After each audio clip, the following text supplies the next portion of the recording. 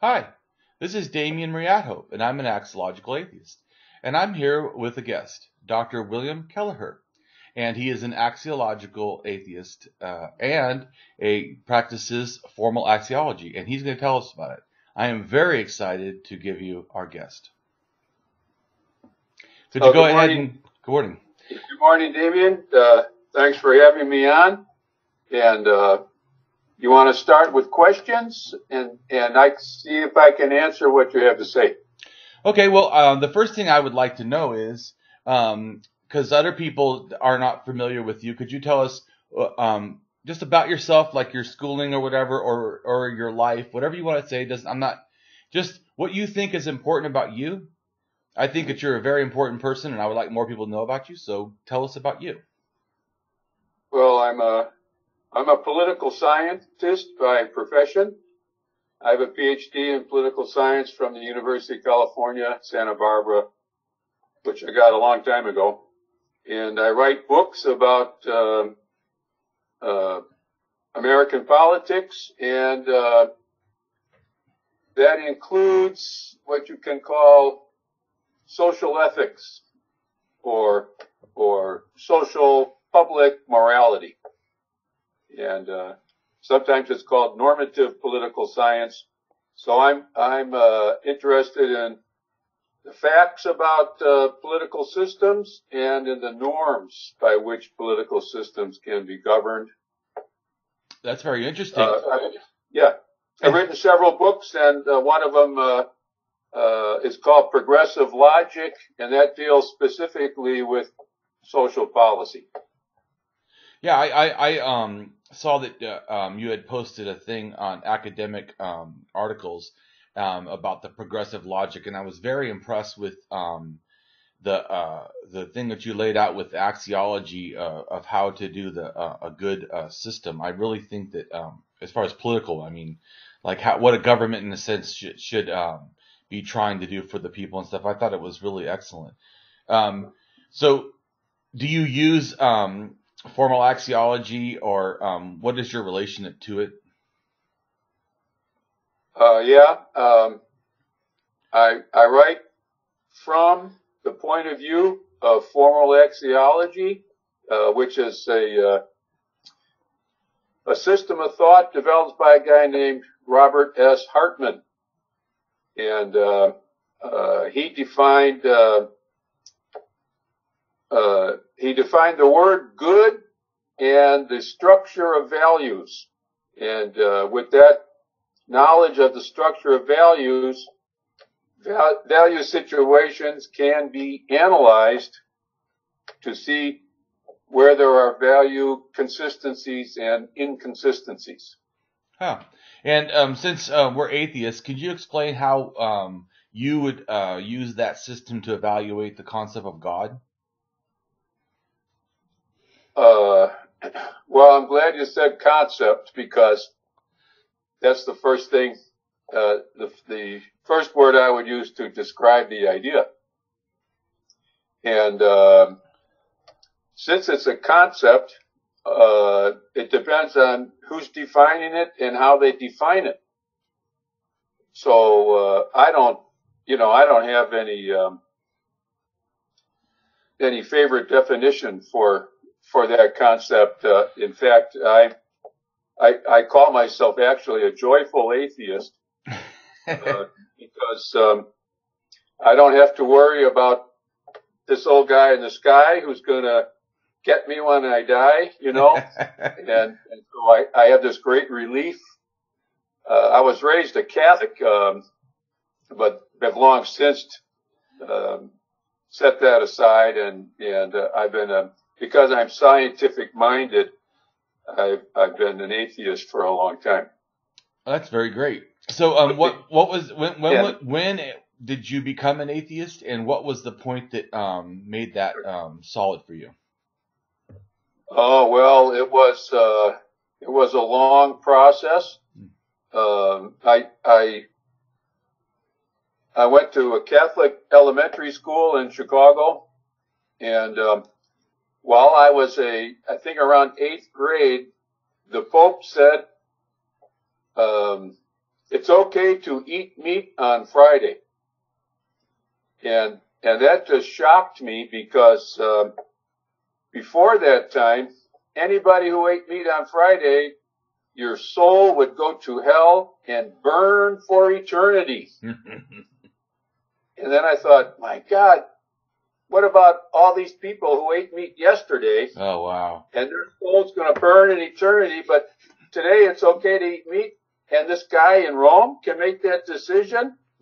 And that just started me questioning all religion and uh, all all the, all religion as a source of morality and God and all that stuff.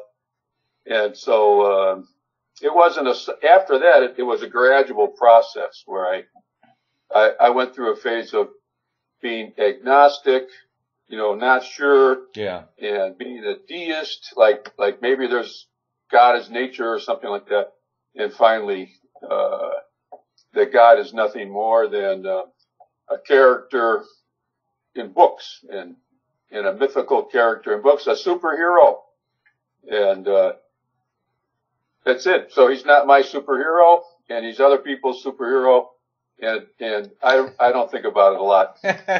well, that's really great. So that brings up to me, uh, um, I am definitely an axiological atheist, and it brings up for me. To me, if you understand value as a real thing in the world that we can assess, we can utilize, and we can um, then um, understand how to, you know, in a sense, delve our morality or build our morality from, or or connected to value then it things like concepts that don't have a real substance, a real dignity, a real value, a real rights, a real worth, or anything. I mean, that to me means automatically that um, it's irrelevant, as you talk about. So to me, that's an apatheist. An apatheist uh, is a type of atheism because once you don't believe in a god, you're automatically everyone's an atheist. So in a sense, most people say they're agnostic. They don't believe in a god, thus they are, in a sense, like de facto atheists. Because atheism is, do you believe? Well, if you say I, I, don't know, well then you don't believe. It's automatically just the, the property of yeah. belief.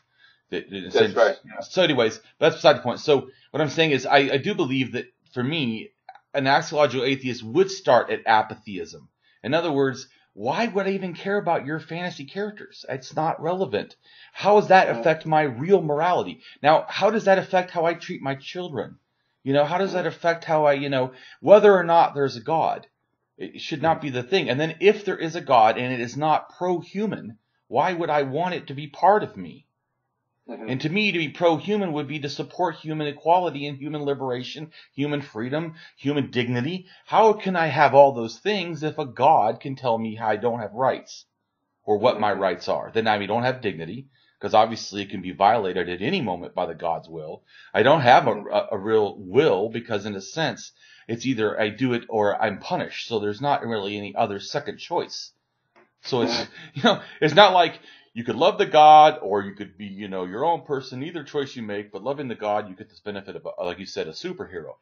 Yeah, but it's not that. It's, you have to do the God's will, supposedly, or else you're tortured, die, suffer, you know. It's, yeah. Yeah, so to me, it, it automatically means it's an anti-humanist. To me, the God concept is anti-humanist. Yeah. Because it says that my will is better than human. Yeah, I agree with that. The, that, uh, in religion, God is more important than people. Mm-hmm. And so people are necessarily reduced in value, and that starts a whole lot of problems right there because if you're you're not so hot because God is supreme, and if and if you're not so hot, then anything I do is uh, is justifiable, and and wars or exploitation, labor exploitation, uh, gender exploitation. What's the difference? Because uh, you're nothing but uh, an inferior to God. So uh, if once you reject God, then you expose yourself to all moral issues, and and uh, you have to make decisions now. If if there's no God, what's going to be important? Yeah, well, that that definitely brings us up to the the other thing I wanted to do with our topic is is now is to get into the actual um, axiology and philosophical things. So the, the topic of what I wanted to address is um, basically philosophic axiology, which is what I mainly use, which is value theory, and then scientific axiology, which I use a lot of precepts from, but I don't follow 100%, which is formal axiology, which is I know what you said you do. And then mm-hmm. axiological atheism, which is can be any of the above. It just means that you're an axiologist in a sense and an atheist, which is what both of us are. and then there's um, basically what I want to address is atheistic or naturalistic morality, which is I think what we both do. And mm-hmm. so um, the what I thought the best way to be um, address this would be to take the challenge head on from you know a religious uh, philosopher wanting to say that you know we can't do morality in a sense without mm-hmm. God and religion or Christianity particularly. So mm-hmm. this is he lists these as questions for atheists having a mm-hmm. standard of morality because he thinks that if we want to say we do that we have to defend it, which I'm fine to defend it. So the person that gave these questions is Matt Slick. For anyone who doesn't know, he's a president and founder of Christian Apologetics Research Ministry. Uh, and uh, Matt earned his bachelor's degree in, also in social science from Irvine, California. Anyways, he has a master's in divinity. Anyways, not anyways, he has. We can go on and on about him. All I wanted to say is, so you get the point that that he he feels he he can give the best challenge. So that's why we're going to take him on. Number one, he right. says objective standard. Do you have objective standards of morality by which you can judge whether or not something is morally right or wrong. And then I added to that, is morality subjective, objective, absolute, or relative to you? And then you can answer it, then I'll answer it. All right. Well, uh, first of all, I, I like your term um, atheist, axiological atheist. Right. Because because if you become an atheist, then you're confronted, like I said before, with all the questions of axiology. Right. What's what's valuable, and uh, what are what are the proportions of value or relations of value, and those are axiological problems. So, just by becoming an atheist, you become an axiologist at the same time. As to the the there's a lot of things you said there, so I'll just take one word, which is the objectivity. Right. Uh, I don't believe in objective knowledge, and I don't believe in objective morality. The the uh, for me, people are responsible for what morality they develop and live by, and so the the one of the key points for morality is to be committed to a system. Christians are committed to a system, the system of Christianity and however that's defined. And in order to have any kind of morality, which has a public effect, which is different than a person's individual morality, but a public effect requires commitment to the principles that define the morality. So there's no morality if everybody dies. There's, there's not going to be any morality there, right? There's, there's going to be a universe. There's going to be air, water, and that stuff with no humans. But there's not going to be any morality because morality is a human concern and uh, really is an essential element of human culture. So uh, there's there's not an objective morality. Objective morality means it's there after everybody's dead. And, and a Christian might say that because God is the source of morality. And so everybody's dead and, and God's still there, so morality's still there.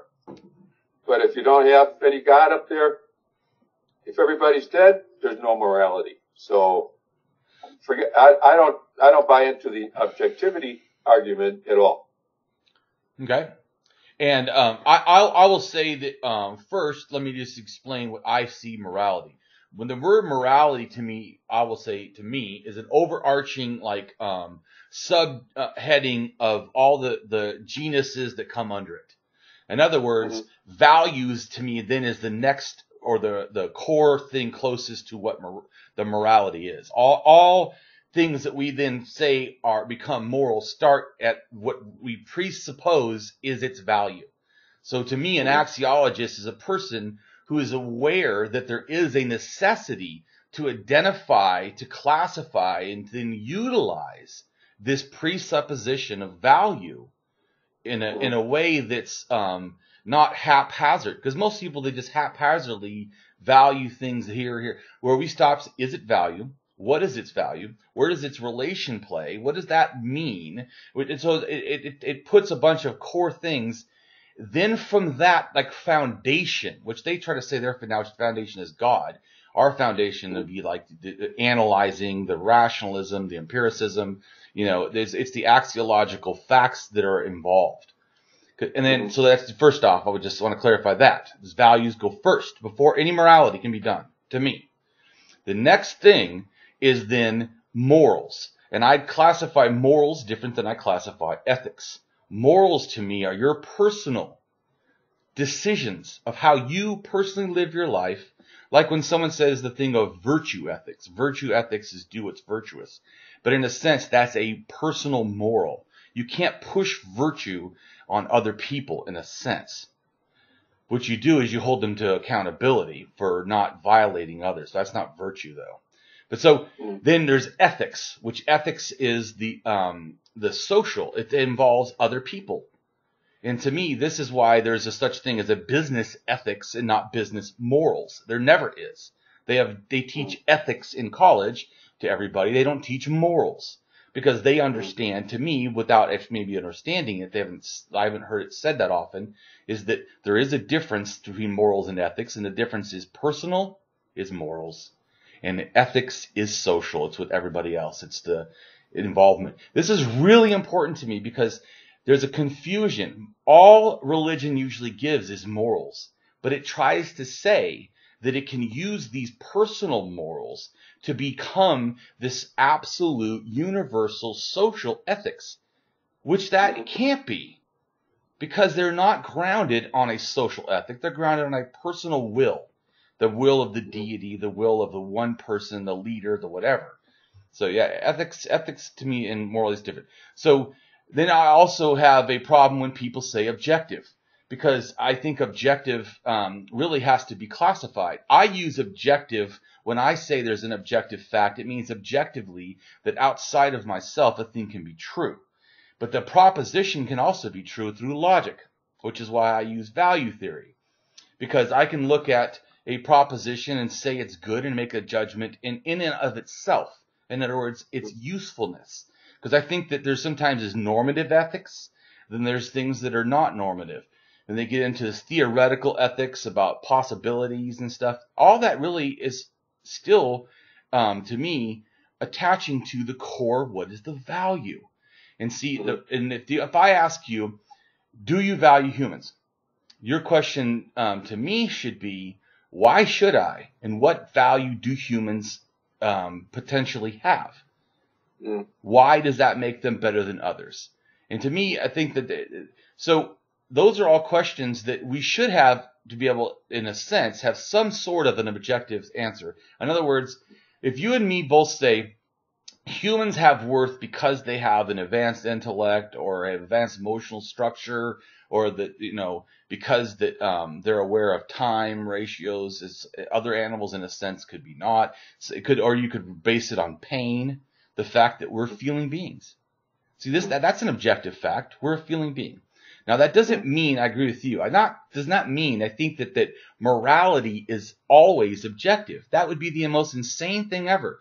An objective um, appraisal of human ability to uh, maximize uh, choices would immediately show that we're fallible as hell. So even if there could somehow together as a group make some objective, every single moral was objective, I'm telling you right now, none of us are able to hold to that standard and have every single choice at every single time, in every single way, under every single condition objective.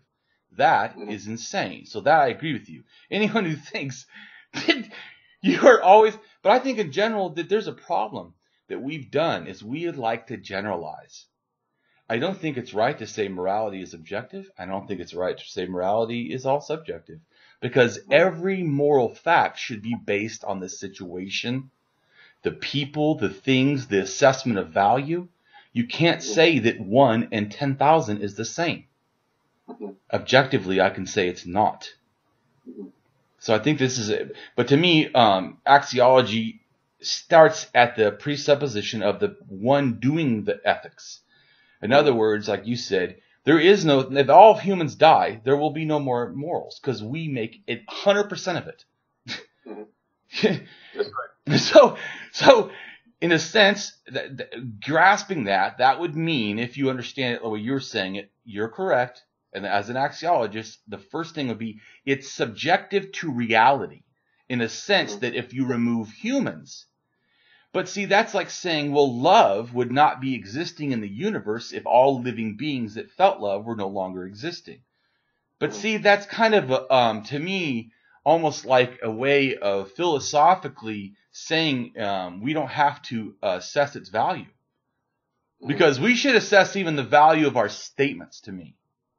Is the statement I just said a morally true statement, a beneficial statement, a worthy statement? Because I don't see axiology as just limited to good. I see it good, worth, value. It has beauty. Um, it has to do with um, beneficialness, like how, how useful. Because I mean, there's a difference in useful, like of vegetables or of all vegetables, but yet salad, you know, is not going to be the same as broccoli. There has to be a way of assessing this objectively. So I think that there's a, there's a problem is the only reason, like you said, the reason why there's this humongous uh, uh, thing about objective and subjective is really not because atheists are having a problem with understanding how to apply morality. Because if there was, then there would be some drastic murders and mayhem, you know, everywhere. So we're, no, like you said, it's very astute that you brought that point up. The only reason we have this obje- objective, you know, subjective thing really to the extreme level that, that it's done is not really because of philosophers. To me, I agree with you. It's because of religion. It's because the religion is hijacked, you know, or tried, attempted to hijack morality 100%. That almost like they, and they always say all the time, without God, without this religion, without, you know, how could you possibly even know how to be moral, you know? Really? You don't, you, you, you would burn and torture children if you didn't have a God tell you not to? What if a God tells you to do it? Would it, would it be moral then? So to me, they don't even have an absolute to themselves because they, they they're liars. They, they're they're saying they're objective, then they're not because you and me both know everybody's made this up. And then in a mm-hmm. sense, it, we can make objective um, positioning in that subjective reality. In other words, mm-hmm. like I think the axiology, the concept of cup, right? The concept of cup is a is a, a, a, a thing that can hold a substance well in a sense. You know, usually liquid. You know, if it has a hole in the bottom, it's not a good cup. That's an objective fact you and me both can agree on. And in a sense, we can use that. To me, I agree. We can use that though that of those objective facts to then position. Well, then we know certain things because it's usefulness. Because a cup given to a fish is nothing. You put it in its mm-hmm. fish tank, it's just another weird looking rock in a sense mm-hmm. to to it, its concept. Maybe it understands more, maybe it could, but I'm just saying in general though. So its goodness, the goodness of a cut to us, or goodness of a car, or a goodness of you know, um, let's say a tool of some kind. Its goodness though is positioned to its particular use. Mm-hmm. So you know, uh, uh, we could say uh, a uh, screwdriver, flathead screwdriver is a great tool we can axiologically say it has a bunch of uses, but see, it's not good as painting. Although you could paint, you know, a whole wall with just a flathead screwdriver. It would take you forever, but it, it's possible. but see, that, that, that would be a improper use, and we can both say, right, that that's not a good use. We can axiologically say that is not a good use of that tool. And to me, that's how, at some, some morality in a sense, that's not a good use of your social behavior to punch people in the face or to or to call them names or whatever. That's not Mm. because it's hurting the, the social cohesion. Then the problem is you are always living. You cannot be outside of, in a sense, unless you live somewhere in the middle of nowhere in, in you know Alaska or something. I mean, in a sense, you're always dealing with people, so we have to have morality. We're, we're, there's no way that we can choose to, in a sense, not, because the moment that you choose not, you've just committed a moral violation, in a sense, because, or ethical violation. It has a moral, what I mean by that is a moral, like, error that's now allowing you to cause ethical violations, is what I really mean. And we know, you and me, that axiologically the presupposition is you stopped valuing then because you stopped valuing, your morals changed, thus it allowed you to then make ethical harm to others, Mhm. in a sense. Yeah. So when you when you reject the idea of objective ethics or objective values or objective mor- morality, then you have a problem of uh, what they call the relativity of value. Are are all values relative? And you use the word subjective. Are all values subjective? Is everybody free to have their own idea about anything? And and are there no moral principles that that you can use to gauge whether one value is more valuable than another. And and that's a problem that um, atheists have to deal with uh, uh, because there isn't there isn't an atheist ethic uh, that's commonly accepted, and so religions, uh, like you said, the religions have uh, commandeered the field of morality uh, and and have everybody thinking if you don't have religion, you don't have morality. And so atheists have a it's almost like a public relations problem. That's Uh, a good point. We don't have we, we don't have God, so what do you have for morality? And and that problem hasn't been settled. There's the problem is still totally up in the air, and there's uh, many different voices saying many different things, but it is we don't have a settled uh, uh, solution for that. You know, like the like the Christians have the Ten Commandments, and and they can say, "Here's our morality. What do you got?" Exactly. And, and, and we can't say anything, but, uh, you know, it's, it's up, everything is up to you. Well, that's not, that's not a responsible position. And so we have to deal with that uh, problem. And, um, I think the, the, for me, the only solution to the problem of relativity of values is that you formulate principles and then you commit yourself to the principles. Like, for example, this country is, has a constitution and, and the guys who wrote the constitution, it has certain principles in there about separating powers and, and having powers uh, balance each other out and dividing up uh, areas of government. So they committed themselves to those principles and it's just a matter of commitment. You say, we're, this is what we're going to do, and, and we're sticking to it. And so the same procedure has to follow for the development of any kind of a social ethic. You, you have to say out, you know, first you, you, you discuss the principles, that you agree on the principles, and then it's a matter of commitment. And, and commitment means you, you stick to it.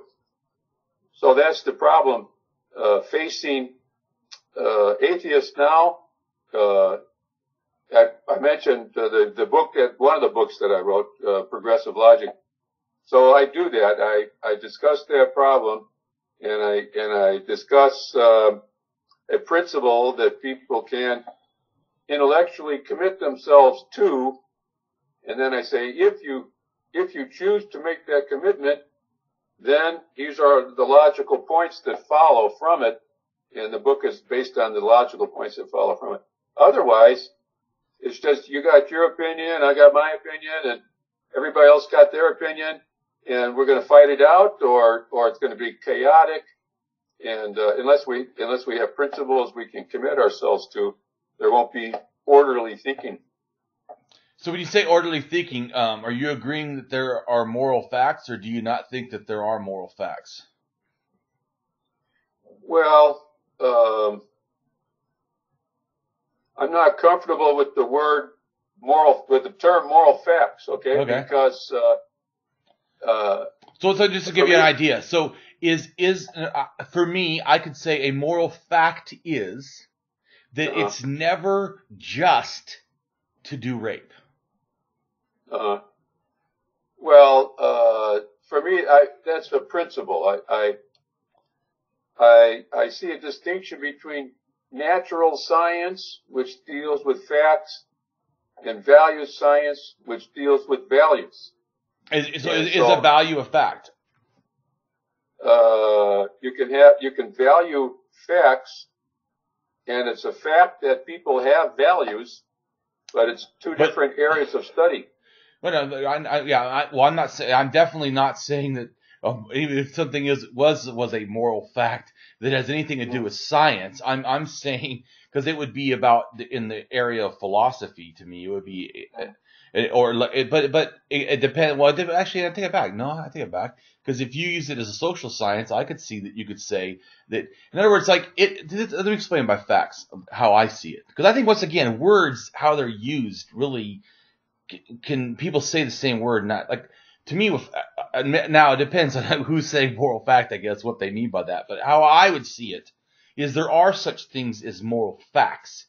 The thing is that there, what we're, what I would be saying is there's an axiological fact that then has a uh, connected um, uh, morality or ethic to it. In other words, um, if I um, see you drowning, right, and uh, and I'm standing there and can help you, am I in Mhm. any way morally obligated to help? If you're asking for help, can I can I just stand there and watch you drown? And am I culpable? Not legally. I'm talking about morality. Morally, Mhm. do I have anything to help you? How about and if you say no, does it change if you're the parent? Do you feel that a parent, can I say that a parent has an obligation to reach out and put their hand to grab the child? Or is there no moral facts that no parent is obligated morally, not legally, morally to help their child? See, I think it's an absolute, and to me, everyone talks about ethics. I, what I never hear enough about is care ethics. I have rarely heard a person alive deny the core of care ethics. That a person who is the caregiver has a moral fact obligation to that person they care about. I have never heard someone give a strong argument about why that's not so. And I don't care what you feel your morality is. Not you personally, I'm just saying all the people. Like I don't because in a sense, and but see what we're really appealing to is a hundred percent natural.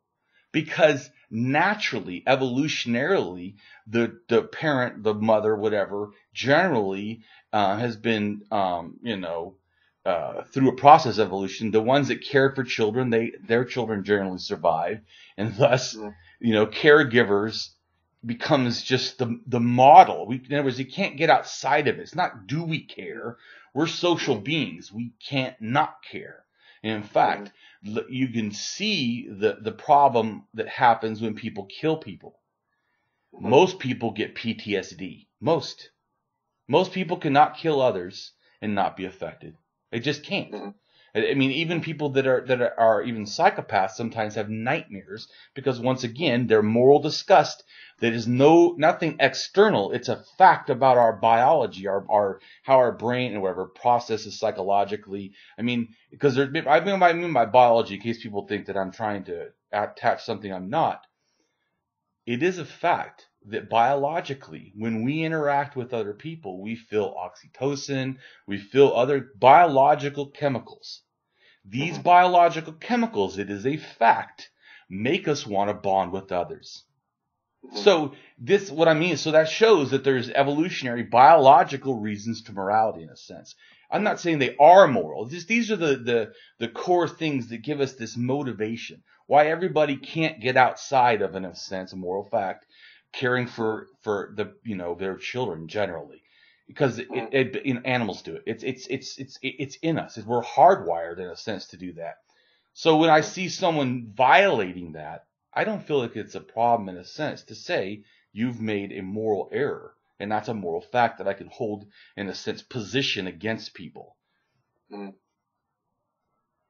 Yeah, well, I like what you said about um, moral emotions and and having been uh, uh, developed through evolution, and and I I uh, I I agree with that. And the way I understand it, um, uh, over the over the eons of evolution, people who contributed to a group uh, had mating privileges that uh, people who are antisocial didn't have.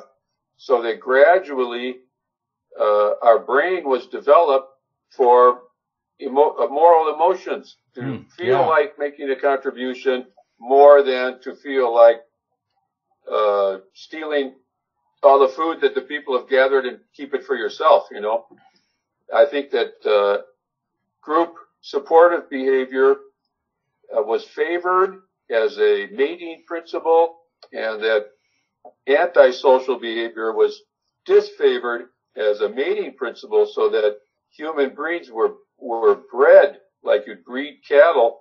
Human breed, human beings were bred to have uh, moral emotions and to have a, a, a more, sort of a moral attitude. Not any specific principle, but just the emotional attitude, the tendency to all the things that you said to understand that killing, taking somebody's life or torturing somebody or rape, that there's somehow it, it runs contrary to your feelings, uh, even if you don't have a principle. That's right. It runs contrary to feelings in most normal people. Yes. Even some non-normal people, I was saying, still suffer. So that we still are obligated by this biology by this yeah. evolutionary thing. And so when they say that's why it's it's odd because in a sense they're asking a, a nonsensical question. How do you do morality? We should in a sense go back. How do you not? Because uh-huh. in a sense, everyone would at least agree to to care ethics. Because like uh-huh. you said, it's, it's almost pro-socially. We have no. It, in other words, also to me, it's there's health benefits for caring. There's health benefits for being pro-social. There just is. I mean, it's already been proven. So there's a lot of benefit to do it biologically. It, it makes us healthier. It improves well-being. It improves our social, you know, uh, cohesion with others, which is this is also another point. Like you said about antisocial. Not only do you not mate, but we already know that the more that you're antisocial, the more it almost creates a mental imbalance. You know this because put someone in solitary confinement. Do they come out normal? They usually uh, suffer in there by themselves.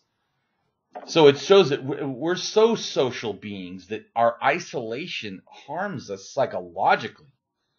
So, in other words, you could uh, give a person in, a, in solitary confinement all the food they need, all the water, all the air, even give them the largest space they want, but all the by themselves they would still suffer psychologically because we need humans. We, we need other people. It doesn't mean that everybody needs a thousand people. Sometimes maybe you only need one. But boy, when you have, and it doesn't have to be even like, oh, when I mean, it doesn't have to be a mate. It could just be a friend. How much we really need social cohesion. So, like you said, because we need social cohesion, it automatically to me means we need values. Once we need values, we need to apply the ethics. Is just the is the in other words, to me, ethics is the end result that you had a good axiology. you you valued things and people, and then you treated others accordingly in, a, in an ethical way. Mm. So that's why I think it's yes. it's very important to become an axiologist, or at least to understand and utilize axiology because of the benefit it gives to your entire life. Yeah. Yeah, so I I uh, I agree with a lot of what you've been saying about uh, the biological benefits and the and the biological uh, suffering that that you have uh, from isolation and the and the benefits of a more health and happier life and that sort of thing around other people. And um, I would I would take that as a baseline is against the the charge of the relativity of value. You're right. I would take that biological experience as a baseline. It's it's not it's not easily proven. Yeah. But it's intuitively uh, apparent, and and using that that emotional baseline, I would say. So how can we develop principles that can be logically and, and articulated and agreed to uh, that are consistent with the intuition, the biologically based intuition. That's that's a beginning point, but then you have to elevate that to an intellectual level where people can discuss a principle and, mm-hmm. and, right. analyze and criticize it. And then you have a moral system when it's when it's something you can articulate with principles that you can make inferences from and deductions from and, and criticize. So I think that's a second problem uh, based on all the things you just said about a, uh, a biologically based moral tendency in people. Yeah, and um, I uh, have a, a, degree in psychology, so this stuff really interests me too. And that's actually how I started uh-huh. to get into axiology to begin with. Is uh, uh-huh. I, I went to school to be a drug and alcohol counselor.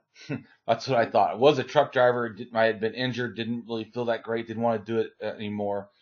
Eventually, I went back to try it again, but then I had to quit because I just couldn't do it. But when I went to college, um, they started talking about ethics, and uh, and I became an atheist in college. But then when they brought up ethics, I started now thinking, like you were saying, like, well, how do we know that, or how how do we get value, or how are we sure that we're not just equally wrong? Yeah. You know, or how are we sure that it's not good to, you know, uh, do this or do that? I started really like, wait a minute, you know, you're, especially to me in the class, they told me, pick the ethic that you like. That did not sound ethical. What? Mm-hmm. Because I was like, well, there was a big problem because in the class they, they didn't go into any in depth, but they they showed us the different you know types of, of morality, and some of them were completely contradictory. So I, how can that be possible that we can pick any of them? And that I said, there's, there's no way of judging which one is better than others. I'm not saying that one is right, everyone else is wrong, but can't we like say like top 10, like this is the top and then these others are, you know, honorable mention or whatever, you know, are still, still acceptable, you know, but may not yeah. be the best choice. I mean, there's no way to evaluate morality. Oh, that, that, no, that doesn't work for me. That, no. That's why I started That's looking. Relative. Yeah, I started. No, it doesn't. Well, even if it's relative, how do we know that relative's not wrong? I mean, I, once I, I, I didn't bother me, so I started looking into uh, epistemology and axiology. And I, once I found axiology, I go, okay, this is a lot better. Plus, I was also at the time saying I was a, a, a spiritual atheist because I thought spiritual meant you had morality. You know, I didn't or you could see morality by connecting the value of things in the world. Once I had axiology, oh, I don't need spiritual no more. I got this new better world. You know, this word that actually is talking about really, you know, substance of what I want to talk about. Then I found out that there actually was um, axiology and atheism together. It wasn't something that I made. It was something that someone else had already talked about. So I was like, wow, how awesome. I never even heard about this term, and then there's actually a whole philosophical way of thinking about it. this is cool. You know, and then I started doing more searches, and that's when I found you. And I thought, oh man, here's someone who's talking all the same stuff, and he's saying, you know, and I know he's got to be an atheist because I heard what he said about God. and so um, that's why I'm really, you know, um, honored to be talking with you now. Oh, thanks. And so, and I, and I really, you know, I push axiology on this general public now because of my atheism, like all the time. And I've put your name out there a whole bunch. Oh yeah. Yeah. Well, that's good. yeah, I mean, I totally. Well, I think you're you're a great guy, and I think that you're an asset to our community. Oh, thank you. The atheist community, I mean. Uh huh. Yeah. Yeah, and you might well, be surprised. Uh, you only have 300 friends now on Facebook or whatever and stuff like that. You might be surprised after this video, you may have oh. a few more if you want. Oh, well, that'd be nice. Yeah. Yeah. yeah. I, uh, I'm a member of a, of a atheist or, or non-believer, they call themselves, group called the Center for Inquiry, and uh, they just merged with um, uh, oh shit, what's that? Uh, the scientist, the selfish gene. Oh, Richard Dawkins uh, Foundation.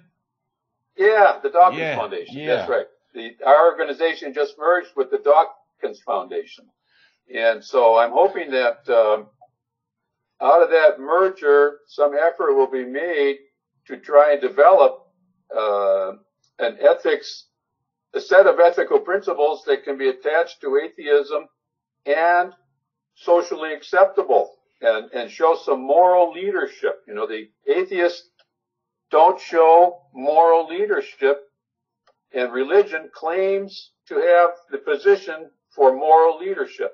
Hmm. So, so we, if we want to succeed as a, as a belief system, we need to develop uh, a set of principles that will demonstrate moral leadership to people. Well, and even and like you said, belief system. That's going to do it. Well, even like sorry. This, true, and I was going to. I agree. I agree with that totally. and, I, and I would like to be involved with it. That's what I've been trying to do on my own. Mm-hmm. I've been trying to instill in people the value of actually caring about values, caring about morals, caring about ethics, caring about how we treat other people. That that is totally what I'm about. And uh-huh. and that's why I I totally like I said I feel like you are uh, an asset. And I and I um and I I want to be an asset too. Not because I want to be famous or anything because I really uh-huh. care and I want to make a difference. And I really feel uh-huh. like that we like you said we need people to stand up and say fine I'll be an example. I'll be a leader. I'll be whatever. I mean I'm not saying that I'm perfect. I'm not. But I'm willing to try to to stand up and say this is what is right to be a moral person as best as we can we have flaws, but I mean, there's a difference between. In other words, I feel everybody makes a difference. Everybody, whether it's good or bad, everybody's constantly making a difference in the world. So I realized, well, wow, I can make my difference positive if I choose to, and I want to. I can make mine be uh, impactful to where I not only become a leader, but build leaders. That's what I want to do. I want to, you talk about moral leadership. I want to make everyone their own moral leader to where, where people feel empowered. To feel it should be a pride to say I'm an atheist. I'm a person who lives by you know uh, ethical standards that are naturalistic. I mean, what other can they be to me but naturalistic? I mean, we can't appeal to to uh, God, and we why would we want to? Even if they they could appeal to religion, why would you appeal to religion, which is inherently subjective in all ways? When you could at least start with some naturalist things that are objective to everybody. And even if even if even if people try to say they're subjective, I love this when people are solipsists. Well, how do you know reality is real? Okay, well then what are we talking about? Mm-hmm. Because they themselves are saying that it's not real. But if it's not, then to me everything pushes back to a pragmatic axiological thing then we behave as if it is real, since it is all that we know. And it would be safer, almost like a, a, a tw- twisting in a sense, the um, uh, what's it called? Um, oh, I can't remember now. But it, it's it's where um, people try to say, you know, well, if you believe in God, you're better off than being an atheist. Mm-hmm. I can't remember what it's called now, but um, in a sense, it's better off to live ethically with value, assuming the world is real, because it's all we have, than to live as if the world is fake and it actually be real, then we were wrong. And then that we've actually committed harm. Mm. So to me, this is also brings up another thing. Even it, let's just assume that the world to them is fake. But we know that we are psychologically in this world affected by even theoretical ideas. We are. We can make a theory. God's a theoretical idea, and people are terrified. How about people like, like, like even reformed Catholics sometimes, right? Live with like guilt, you know, come popping up in their life. It's all indoctrination. You were taught this this this concept of guilt and then it's been attached in them, and it was, you know, the God concept removed, but this guilt stayed attached. Mm-hmm. So it, it, but it, it, it's not the way to me like just like the people talk about the golden rule that's a religious moral I, I don't value that at all because i actually understand values and i understand so to me the god moral says what i like then becomes morals or ethics Mhm. the problem is it should be the value it shouldn't be what i like i mean i don't like um let's say liverwurst i would never produce that as a food but Yeah. but but my like makes no difference of other people's use, and it Uh-huh. shouldn't. But no matter how much I don't like it, I despise it. Tastes like I, could even I wouldn't even give it to animals. But the point Uh-huh. is, because I hate liver. but the point is, that's not an objective fact in the world that liverwurst is bad. That's Uh-huh. just me. So once I can identify the difference between my personal and something else in the world, then I can, I can start applying things Mhm. more. So, but see the the the the morality of the golden rule says, "Do unto others as you would do unto you." Yeah, but there's Mhm. people in different places of the world that do unto me might mean kill my children because they believe in honor killing. It might mean allowing rape of captured victims, as it does in Muslims countries, some of them, especially with um, uh, ISIL. So, and he, in fact, I heard a female uh, Muslim woman justify that she agreed that men, by the Quran, have the right in the you know to rape all the females. And then they said, I heard someone talk to her and say, "Well, you're a female, would you?" She says, "If I was captured, then that's something that would I would expect." I, like, oh, that right there shows just like I did the same thing. What if someone's 16? Do you want a 16 year old deciding that what the problems of the world? Do you want to go to war because of what a 16? So you do understand that their value we can all look at and say maybe we shouldn't. Or how about you know someone who's five years old? Would you let someone five years old? There, you know, because do unto others, do unto you whatever they want to do. Would that be okay with us? No, it would not. So to me, we, we already know. To me, that's why I say that we already know that intelligence has to be a factor in morality. So does moral uh, development and moral reasoning. Because because morals is not like you said. It's not like some external thing we go find in the world. Oh, look, there it is. There's morals. No. So it, it, it takes the process of thinking and reasoning to be able to do it anyways. All right. So I, I totally agree with that. And, and, uh, so the problem that, that creates is then what are the principles you're going to use for your moral reasoning? Uh, moral reasoning is necessary, but how is it possible without certain principles that you can agree with? And, uh, that's what, so that's what I wrote about, uh, in that book in the, in progressive logic was a basic moral principle consistent with the biological tendencies that you talked about and, and then the implications of that moral principle. Uh, let me, let me just say what that is. Um, so I start with a, with a principle and it's just an analytic principle. It's not something that you have to believe in. Mm-hmm. And it's that all people always deserve positive regard. So I, it, the short version would be all people deserve respect, right? Right. Uh, now, I'm not saying that that's an obligation. I'm saying that's an analytical principle. Can I, can I just stop one question and, and, and ask? start there. Yeah, go ahead. Yeah, what do you mean by persons? In other words, I agree with that axiologically for my even my thinking. Although persons to me could mean elephants, could mean um high, f- but I'm saying depending on well, I well, because I would call those for me personally, just so people listening. I think that those, if you reach a high enough level of awareness to me, I start to treat you different than, than animals that have a lower awareness. So when I was, I have a classification for me would be people as humans, and then have Mhm. non-human persons, which would be high-level animals, and then I would have low animals, and then I would have animals without feeling, because Mhm. there's some insects that actually don't feel pain.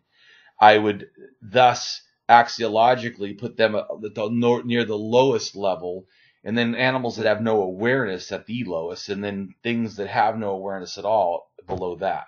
as far as a, an axiological structure of where to place value. That's all I was saying. Mhm. So for people that, that don't know, I know you probably you probably already have this concept. I'm just bringing this out so people that are listening know when you say persons, I am assuming you mean humans. That's all. Yes, yeah, yeah, and that's a very important point because, uh, like like in biology, uh, the the axiology that I use distinguishes between humans as as one category, a biological category, and other categories of of organisms. We're an organism, Right. but we're the human organism. Right. And so, uh, I, I, uh, I think it's important to, to distinguish uh, between the human organism and other organisms.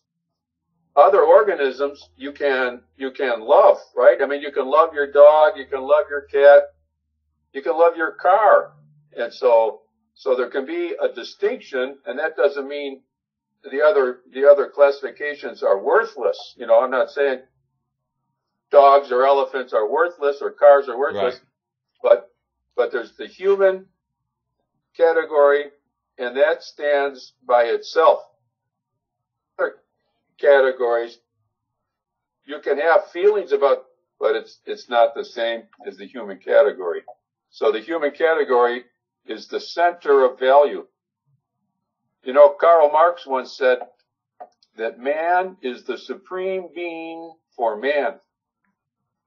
And so, it, without without agreeing with everything that Marx said, uh, that uh, that principle for me Yeah. is a basic ethical principle, and you can build other principles or derive other principles from that basic principle. I agree. That, that, that- I, I was just uh, I wasn't um, saying you were thinking anything different than what I I agree with what you everything you said. I was just wanting Yeah. to clarify. Oh, yeah. I wanted to I wanted to clarify persons that word persons because I knew Uh, I know in a sense what you mean by that. I want to make sure everyone else Uh, you know well, you know, you know where this is a real big problem is that the abortion issue, yes it is. and so and so I I talk a little about that in my book. Could you talk about I, it now? And I I mean, real, Pardon real me? quick. Can you talk about it real quick right now? Yeah. Uh, well, I go along with the Supreme Court decision in Roe versus Wade, but the but the problem is, person a person is is how do you define a person? Because the anti-abortionists define a person at the moment of conception, and they talk about baby killers. You know, now this is a word problem because baby is something that sits on your lap and goes right. goo goo and da da and it's, it's a little thing, you know. That's a baby, and and before that, there's an organism growing within a, a woman, but if it's a, still an organism, it's not uh, viable outside the womb. Uh, it's not a person. So the problem of defining what is a person, for me, is the central problem for abortion.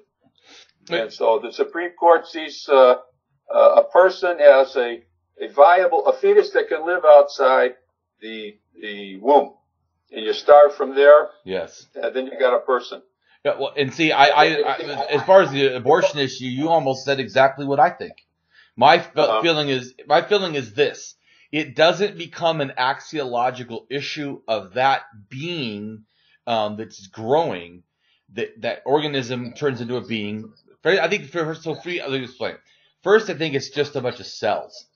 Then it becomes, in a sense, an organism. Then it becomes, in a sense, to me, a being, a beingness but it's still not in a sense a person. It's just it's be, it's becoming that. Like you said, the problem is it's a gestation. So yes, at some point before leaving the womb, this thing turned into something. But their problem is they are acting like it's this thing the whole time.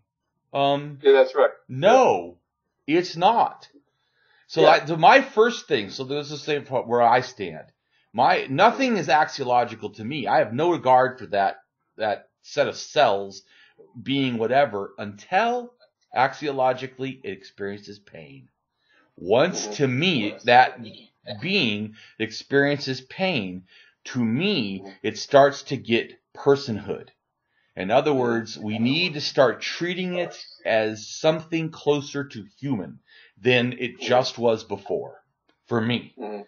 Because now it's in the realm of experience. And that we build most of me, our morality, in a sense, is a juxtaposition of its pain level, its pleasure level. We, we and I'm not saying that everything is hedonistic or something, but in general, like a lot of our stuff could be grouped kind of loosely in that those categories, in a sense, what we do to harm or help, you know. So it's really uh, important, I think, to clarify all this stuff like we are, and then it's really important. Um, I want to give out to atheists because, like you said, we don't talk about it, and and these the issue is that the the lie the religion and God believers do is that somehow they have a magic bullet, this this you know or lucky charm or something that that allows them to jump over all the axiology they need to do, all the you know moral reasoning they need to do, all the ethical application they need to do, and just say I do it because of block you know something. I mean, it's no, you don't get to do that. In fact, even if your religion and God, well, I'm just saying, to me, even if, let's just say your religion and God are all true, you still must do all the axiology in the sense and all the moral reasoning and then all the application ethically. So you're not under any less obligation than anyone is. So we're all, Yeah. in a sense, I think, doing atheist really morality because, in a sense, all uh, most people don't really appeal to the exact words, every word of the Bible, because they'd be killing more people. I mean, it's just Yeah.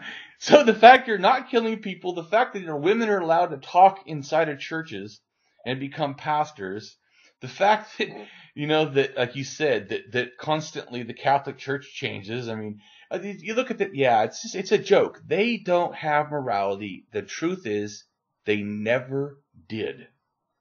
Mhm. And like you're talking about is because they acted as if they could deny the axiology and just state things as true. Mhm. They can't. Just to me, like knowledge or belief requires epistemological understanding, Mhm. values and morality, to me, require axiological understanding. Those Yeah, that those that understand axiology will apply morality a lot more efficiently. Those that Mhm. don't will be subject to error because Mhm. they're not, like you said, they don't have the standard. They don't, in a sense, understand the, because I believe that axiology is like, it's not just a meta ethics to me. Meta ethics is a thing in a philosophy, you know, like you study ethics, and meta ethics, in a sense, studies the ethics of ethics. And to me, axiology is even before that. It's like the presupposition that helps you understand and navigate your meta ethics to do the ethics that didn't apply, in a sense, or whatever. It's it's just, and that that goes back to look at how complicated it is, and they want a simple answer. Tell me if it's objective or subjective. You know, sir, you're asking a simplified, you know, answer to a massively multi-level explanation. Uh, yeah. Yeah, so in a sense, what we're doing right now is moral reasoning, yes. and and we're taking apart moral issues. So one of the things I do is uh, I have this base principle: uh, all all persons always deserve positive regard, just as an analytic principle. And then one one axiom that I can derive from that is that people are more important than things Yes. which is a logically consistent application. And another one is people are more important than systems. Yes. So I systems totally are agree. different than things, right? Yes, I totally agree. And so those are two deductions, and then you can apply those to situations in the world just for analysis. And you can see, you know, well, uh, in this in this system, like for the voting system, you know, where people are being used to vote as voters, Right. but uh, but they're not getting the full benefit that people could be getting. We're going out and voting, and it doesn't really count anyway because the electoral college is there, That's right. and so and so the the people are being subordinated to the existence of the system. They the are. System. Oh, yes. And, and we're not, it's not a system that serves us. It's a system that abuses us. I totally And agree. so axiologically, that's a problem. And see, and everything you say, I, I totally agree with because, well, Yeah. I mean, ideologically, first off, I am a socialist, anarchist, collectivist, mutualist, or whatever. Once again, I'm not really easy because you're. It's not an easy thing to explain how I politically think. So I believe that Uh-huh. socialism is important, but I don't like state socialism because I feel that the state becomes, in a sense, over people. I don't like Uh-huh. that. So I'm an anarchist. I believe that, and I also think anarchist in thinking.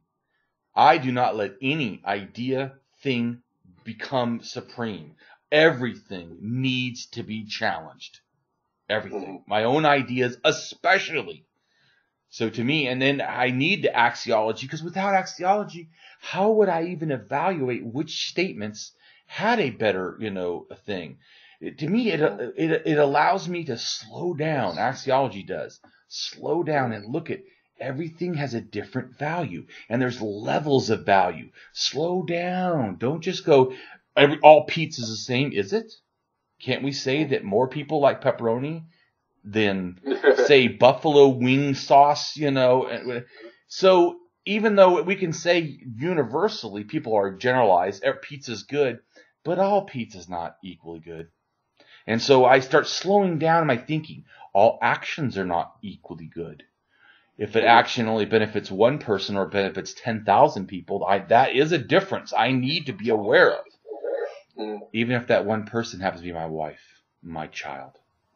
I Mhm. still need to be aware. Doesn't mean I believe in care ethics. Doesn't mean that, you know, I'm now obligated to always, you know, I don't believe in um, that concept of the uh, universalist, or is it not universal? Um, Unitarianism, I think it is maybe uh, ethics. Universal Unitarianism? Yeah, or- yeah, well, no, I mean Unitarian ethics. I think it is where it says Oh. that you always do for the greater good. Well, I don't agree with that. So you're Uh-huh. saying that a mother has to let her child die because four other children need stuff? Two other Mm. children? children? How many children is too much? This is important though. We need to, because I do think there's, there has to be a, if I said your one child may die, but that antidote will save a billion people. I don't know that I would not say that I need to appeal to the larger number. I mean, Mhm. at some point, that's why I think that we need to be, because I I think of this in stages of, of, of, of moral weight in a sense, or the axiological the, the, um, quality it has. So if I Mhm. say, it, it, can a mother, should a mother have to do it for one child? Well, no. How about two children? No. Three children? No. Four children? No. Five children? But there is a level to when it gets high enough. It's, in other words, to me, it's built its moral capital or its axiological accumulation weight. In other words, Mhm. their singular never reached the level axiological of your child. Okay? Mhm. You- the- In other words, the, the, the, the value you've placed on your child as position to other children is always going to be higher. But I do believe that even though it's lower, let's say it's 100 to 1 or, or you know, 10,000 to 1. Yeah, but if those ones that only count as one, if we have a billion of them, now they are more than your 10,000 in a sense. Mhm. And I think I, I'm just I'm not saying that I I've giving people how much children are worth. I'm just saying we need to understand that it's not so simple. Everybody to me makes quick, really quick moral judgments. It doesn't think about any of the axiology involved. And so they keep making errors or, you know, they're not benefiting the enough people or they're not, not building enough close, you know, cohesion to their uh, caregiving systems. Because you said, we don't have any standard. Then the one we do have, supposedly, is religion and God. Oh, please. That's not even a standard. That's like the anti-standard.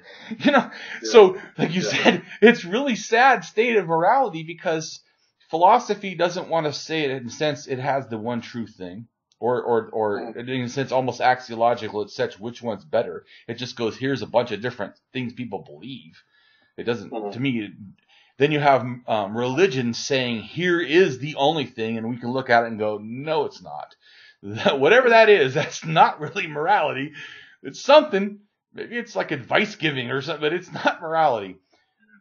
Yeah. Then you have, like you said, atheists, or in general to me, anyone not religious, we actually usually have to have some, you know, inner drive that really is the mm-hmm. motivating to look for our axiology, whether we know it or not.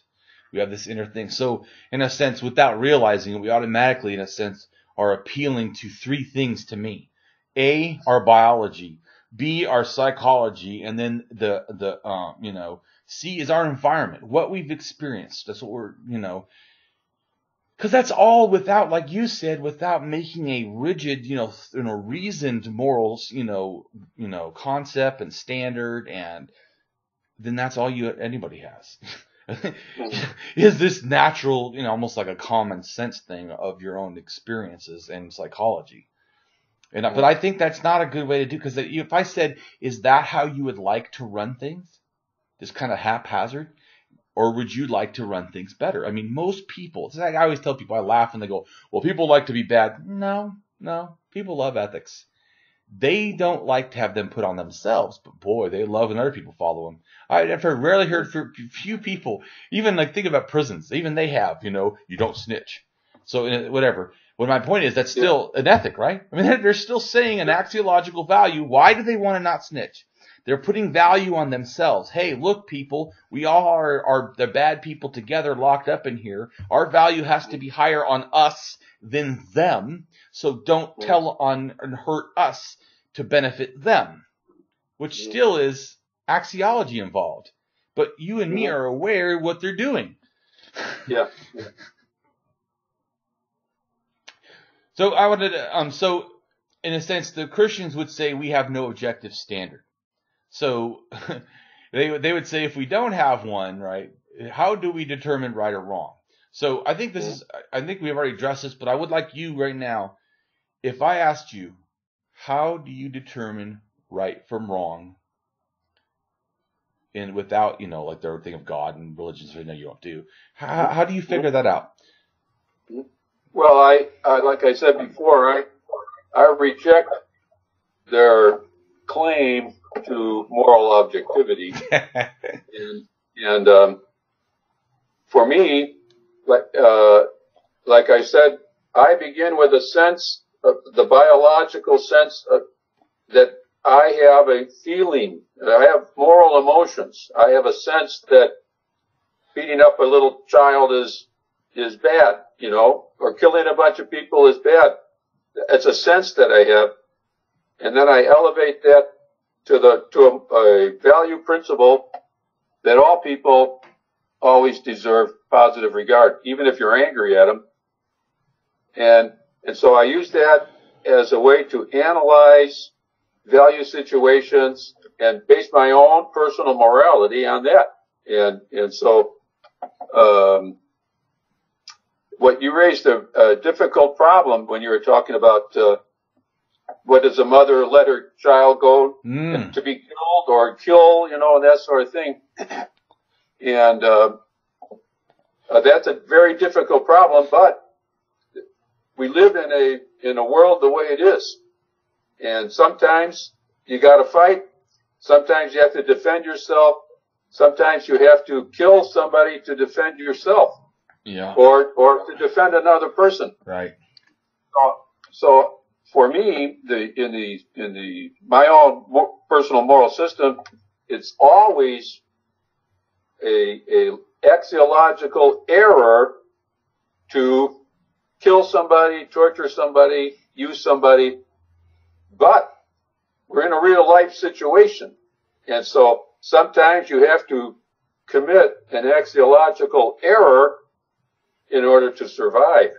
Right. So there's, so I recognize value contradictions, but as a practical matter, sometimes you gotta live with value contradictions. You can't always be totally pure, uh, a totally pure person. You know what I mean? Yeah.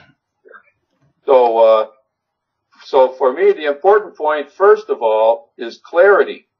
Clarity about what you're doing. You know, like, you're gonna punch somebody, uh, it's, you're gonna, that's, that's abuse. And it's axiologically, it's, it's an abuse of a person, but it might be necessary because they're, they're trying to steal your car or, or they're trying to, they're trying to choke you or something like that, right? So So in a situation, you might have to do basically what's wrong because there's a greater right involved.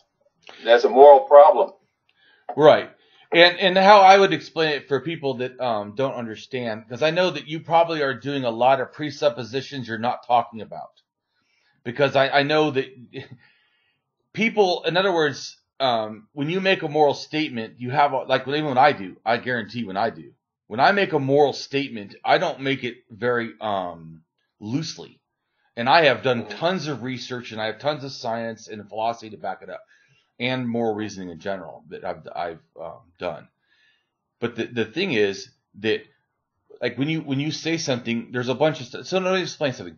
There's not like you're, the way you said, like you said, the axiology involved. But when people hear that, I know they're thinking like as if there's only one choice. Like there's a, axiology just says good, right, or wrong. No, axiology to me would look at a hundred different elements that or whatever go, going on and assess all that. There's several layers. You can't look at at, at, the whole environment. You know, let's say Nazi Germany. If I show you a video and I see someone kill someone, is that okay? Well, if you don't know that was the Third Reich and, and it was, you know, someone being forced to kill them, mm. all you saw was the, the, the small, you know, cutout of the person killing. You didn't know the context. That then changes a lot of stuff. So to me, in a sense, axiologically, it's not one thing. It's not because you've assessed the, the what's the value of the person, what's the value of me, right? You've assessed what's the value of the situation. In other words, like what is in other words punching someone what is the punching someone going to produce? Because if it mm-hmm. produces, in a sense, a good thing, then I can assess the axiology. I understand that you were talking about the axiology value of a person, which I agree. People also don't understand, like what they'll say that I say a murderer still has, has axiological value. They have axiological value as an ontological human being. In other words, axiology, I know that their status of human doesn't become dog, doesn't become tree, car, whatever. It never exactly. stops being human. Now, that's right. Axiology is not limited to just the intrinsic value of the human. To me, it also is a systemic, their behavior, what they're producing. Mm-hmm. So if, if the person is, is like you said, killing, trying to, or trying to say, I, I, we're in a room talking and someone came in, tried to kill you. If I were to, you know, try to stop him and then kill him in the process, in a sense, I have done murder to me, but the murder in a sense, axiology, um, is not in a sense violated. I know that you're talking about, but to me it's not violated because I didn't want to harm. My mm-hmm. effort was actually to defend or protect. So I do believe that, that we have, since, in other words, if I understand axiology correctly, like you're, I'm just trying to break down what you said, because I, I know what you said. I was trying to break it down for other people. So axiology would say like humans have value. That's that, that core principle in a sense. So, but that never changed. I didn't violate that by defending you. I still am aware that humans have value. In other words, I wouldn't kill him and feel like no no big deal about it. I would go, wow, I shouldn't have killed, but I had no choice. But see, That's that right. is in my moral uh, awareness of the axiology never changing. The weight and value of the human didn't change. So even though I had to do it, I feel this feeling because my emotions are aware of the axiological weight of what that person was and that me doing that, what it meant. That's all I was trying to say. I, th- I thought it was really good. I just wanted to explain to people.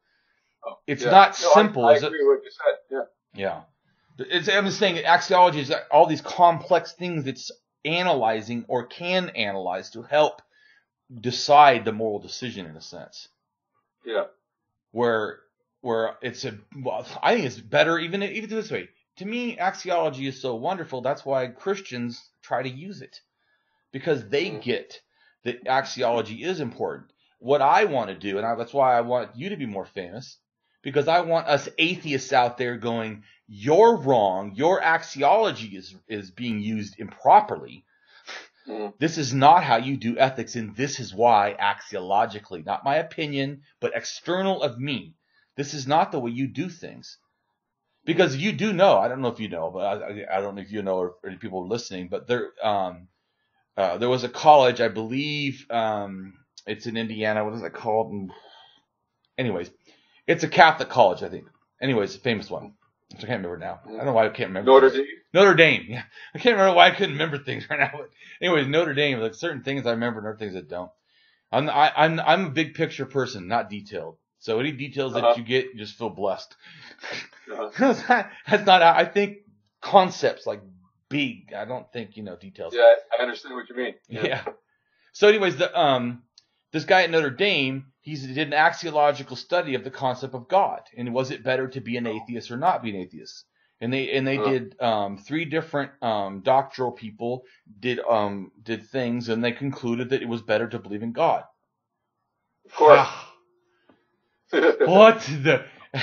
And I they didn't talk to me because I can guarantee that they tried to give this weak, you know, watered down like straw men of what an axiological atheist would would would, would put against the God concept. Yeah, Mm. bring me on. I'll tell you how bad the God concept is to me as an axiologist. I will I will eviscerate the God concept as anything moral, anything just, anything that we would even value as humans. It's it's an anti-value. It removes value of humans. It, in in fact, the, the, like I said, the concept of self, any god, is that it's better than human by its nature. It's That's so- right.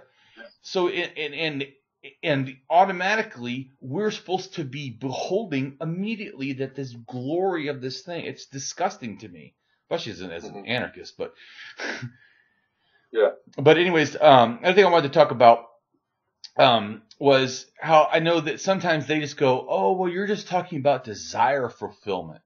You're not really talking about some intrinsic value in the world. You're just talking about doing what you like, what appeals to you."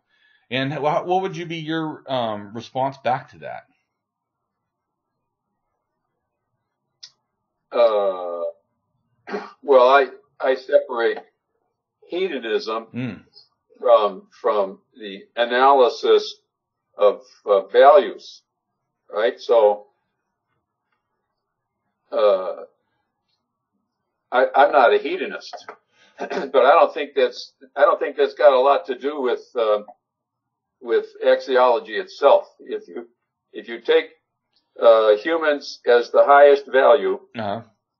and and you say that people are more important than things, people are more important than concepts or systems, which would mean God, right? Yeah, definitely. Uh, or then- religion then beliefs. still have a you still have a lot of choices about how to live, Yeah. and so and so you could be a hedonist. I don't think it's a good way to live where you're just pursuing your own pleasures, you know.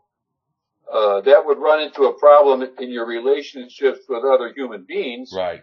if you if you take like like a Don Juan type who's who says I'm a hedonist and I want to have use women for as much sex as I can get, you know. Right. Well, so there's a problem there because then you're you're using people as an instrument and probably involved with deception and uh and so and so there's violations of the principle that that all people always deserve positive regard when you when you lie to somebody in order to get them to give you sexual favors you're you're reducing their value and treating them like an object. So axiologically there's some problems there uh, and that would inhibit my own behavior. Uh, so so it, it gets pretty complicated uh, uh, when people talk about pursuing pleasure uh, there's limits to, you know, I think that what, what people can do, but then there's some elements in it that are correct. Yeah, well, I think that you you, you brought up a good point because you're talking about um like the, the thing of consent, and I do think that that almost is what changes it. I mean, it is something a, a good act like you're talking about um that involves sex. Axiologically, I would say, well, in a sense, to me, sexuality between humans that are adults only. I'm not talking about children, just adults between adults. To me, is almost amoral in the sense that as long as we don't do anything, it's you can't make a moral judgment. Is this Like is is you know this type of sex bad, this type of sex good, as long as it's consensual and like you said, there's no lying, there's no this. I mean, as long as it then to me, it's not. It doesn't have a, a moral judgment. It's it's it just Yeah. is. It's like saying because what it reminds me, we've made this biological thing like more value than it really should give in a sense because of religion. And I mean, food too. People like get so you know like how many religions care about what you eat? Like most of them. Mm. How many care Yeah. about how well you have sex? Most of them. How many care Mm. about these? But that's not values. That's just some nonsense. Because really, what you said is the point. It shouldn't be what you're doing. Is it consensual?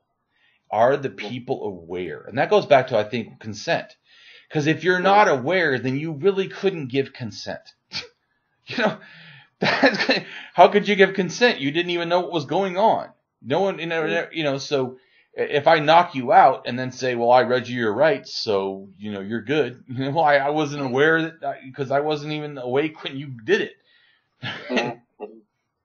So I think that, that I think that same thing goes with morality, though. We can't make morally aware decisions because we need moral reasoning if we're not aware. That's right. Yeah. And another another problem similar to what we just talked about would be euthanasia. Yeah. And and um, if if if uh, consent makes sexual relations between adults sort of amoral, Yep. then why why can't somebody consent to to being uh, killed uh, uh, because they're in pain or because they have some incurable disease or something like that? Why isn't uh, I think it is. permitted? I think it should be. So Yeah, I mean, if it's if it Well, because if it's well, because I start, I well, and just like t- talking about, I think it's real important. You and I forgot, I do this a lot. I, forgot, I didn't think about what it is though. You talked about um having that. I can't remember what you said. Concept. I I'm, I don't know why my brain's kind of scatterbrained today, but um the concept that I have is that people own themselves. That is my universal. I apply that to absolutely everything. First, people own themselves. You own yourself. In other words, what I mean is you have the right to think and do with yourself as you wish. I don't even, it's to me, that's an amoral judgment. You own yourself. If you want to tattoo yourself, eat fat, skinny, if you want to die, live, as long as you're an adult, if you want to, you know, cut off your arm if you want. I mean, I think there's something that's wrong if you want to do that, but if you want to do that, you own yourself. I don't have say over how what you do to yourself because that's your own self right. Where I think that like like psychology where we should help people is when we realize that reasoning is gone. Mm. Because then we know you're not actually even doing what you want. Your reasoning isn't fully there. And that's where I think we can then help and be there for so like you know, but I still think that once again axiologically we slow down and just because they're not at our level doesn't mean they're zero. Mhm. Sometimes I think people treat people with mental illness or mental capacities are low as somehow they're not full persons. Axiologically, you and me know that's still human. That's that's that's a person. so I mean eh, that. So I try to even when I realize there's you know because I I did you know a degree in psychology and I know that like working with criminally ill patients, how much rights should we give them? To me, as much as possible. That's how much. As long as they don't hurt others, you know, like you said, your core principle and mine go together. Mine is that people own themselves, and I like yours, and I kind of do yours. I just haven't formalized it. I formalized the for me the one people own themselves, but I, I like yours too. That people you know deserve re- a positive regard, and- which is Carl Rogers um, in psychology says that you know counselors should have is unconditional positive regard, and that's kind of what Okay. what you're talking about. And to Yeah. me, it's more than regard. I realized axiologically that, that people have the right to value their own life.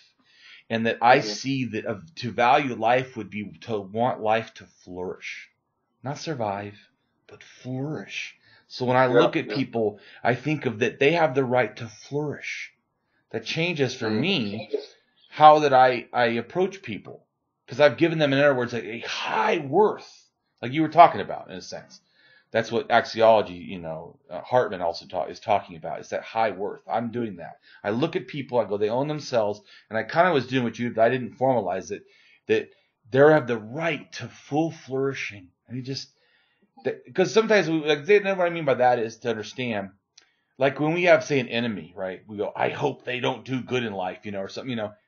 That's actually axiologically to me not good because mm-hmm. really we, we shouldn't we should want them to flourish everybody. And what we should want to do is have them not harming others to you know become better productive people whatever so and that's i think uh, like you said you know like our prison system. Imagine if we applied that axiology people everyone in here even though they've committed a crime are still worthwhile humans. How would that not change how we interact with them Yeah, I agree, and uh, especially when you talk about uh, somebody you don't like. So if you have a principle, all people always deserve positive regard. Okay, but what about people you don't like? Yeah. What about people who commit a crime against you? What about somebody who steals the radio out of your car? You know, you're not gonna. You, that's you're gonna want to punch them, right, or punish them. Right and you're not going to treat them with the with positive regard. And so there's that's why I call it an, an analytical system because your emotions uh, have their own course. You know, they, your emotions do their own thing, and so if you have an analytical system, you can analyze where the emotions are going, uh, but you have to distinguish between the the analytical system and the emotions, and and emotions, uh, maybe you can retrain your emotions. Oh, definitely. Uh, to be to be more humanistic, right? But well, uh, yeah, yeah. Well, you have to distinguish between this. Well, and that, yeah. that's that's what I've done. I've done. Because I'm I'm I, I was raised in extreme abuse under um, um especially my father. Especially my father. Anyways, they were religious, and what it, what it made in me was um, conduct disorder as a child which is um, basically the, the uh, as an adult that becomes a sociopath, which is what I'm a mm-hmm. high functioning sociopath. How I've been able to, well, I am. No, I'm, I'm not. I'm not joking. I mean like a, a, a medical problem, you know, mental mm-hmm. because of abuse. I mean, I was raised in extreme. I was starved. I was I was abandoned. I was uh, was um my tailbone was broken. I was hit by a two by four. I mean, just I mm-hmm. had a very brutal childhood, and um, because of that, it made me want to hurt people. I mean, I, I and I and I was extremely violent, and um, until um, I was 17, and I almost died of alcohol poisoning. I had um, liver failure, alcoholic hepatitis, and anyways, I don't go all of my life, but what that made was just to just to give the background of why I say that I'm a high functioning sociopath. I'm not like being flippant. I'm I'm it's actually what happened to me. So what it means is I, I didn't understand um, worth, value, anything. It's also oh, why yeah. axiology appeals to me so much. And just like you said, because it can it can it doesn't require emotions. See, that is very mm-hmm. important for someone like me. Because mm-hmm. I don't feel as much emotions connected to ethical things as everybody else. I mean, I have mm-hmm. learned to, I've taught myself 20 years of counseling and you know, working on it, I was able to teach myself. But really, the best thing wasn't even the counseling as much as getting axiology. It allowed mm-hmm. me, aha, I can do this and I don't have to have that much empathy. I can mm-hmm. do it because I have standards.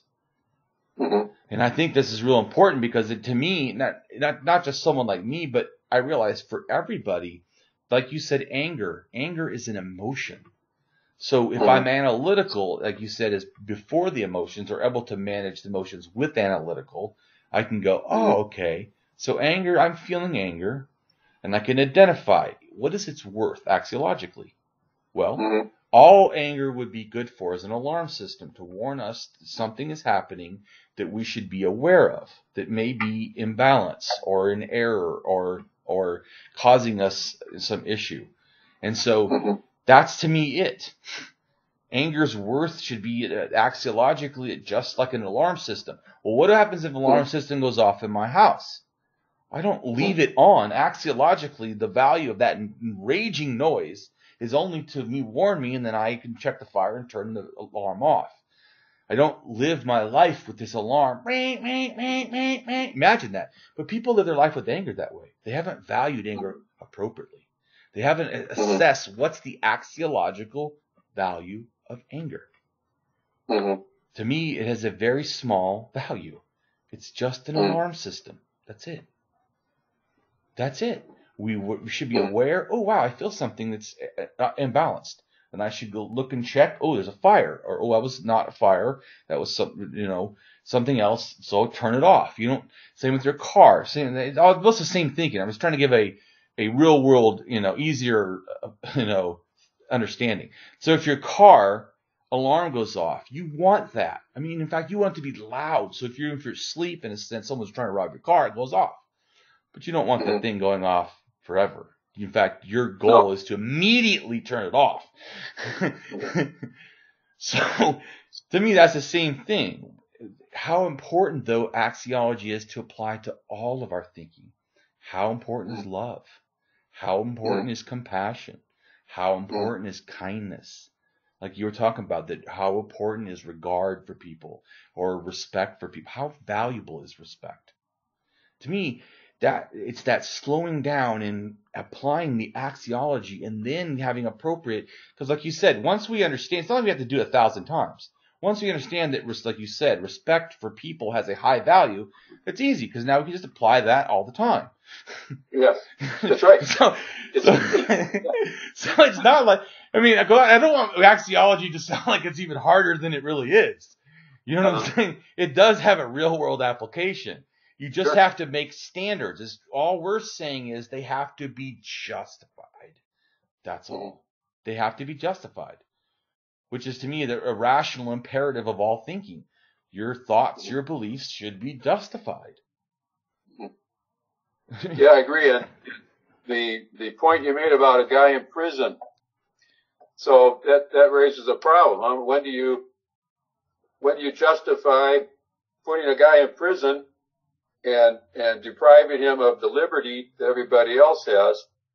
And uh, uh, so you have to you have to make a judgment. Is a is a is a guy who smoked a marijuana joint?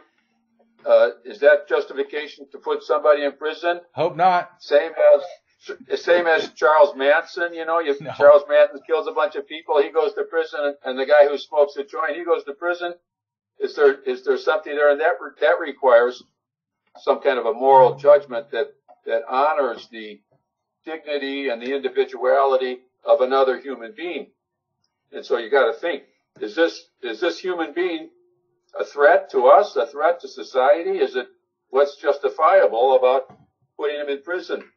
You know, Obama recently pardoned a lot of guys who were in prison for nonviolent drug-related offenses and, and we're seeing all over the country the, the movement to legalize marijuana, partly because young, young guys were going to prison for having pot, you know, and their lives were being ruined and they couldn't get jobs and they were branded ex-con.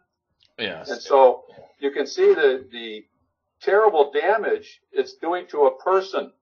And is this damage justifiable? That's the, that's the question for society to ask putting yeah. Charles Manson in prison and closing the door forever, you know, that's okay. yeah, that's clearly okay. But uh, the guy who smokes pot, you know.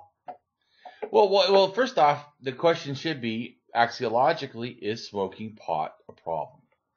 In the same thing, like we, you already know axiologically, is killing people a problem? Yes, so that's why Charles Manson or people that promote that, it's it behooves us to to remove them to where we can protect society. But is smoking marijuana wrong? Is it harmful? Is it unbeneficial? We, axiologically, since it doesn't kill anybody, it already hasn't violated the first rule. yeah.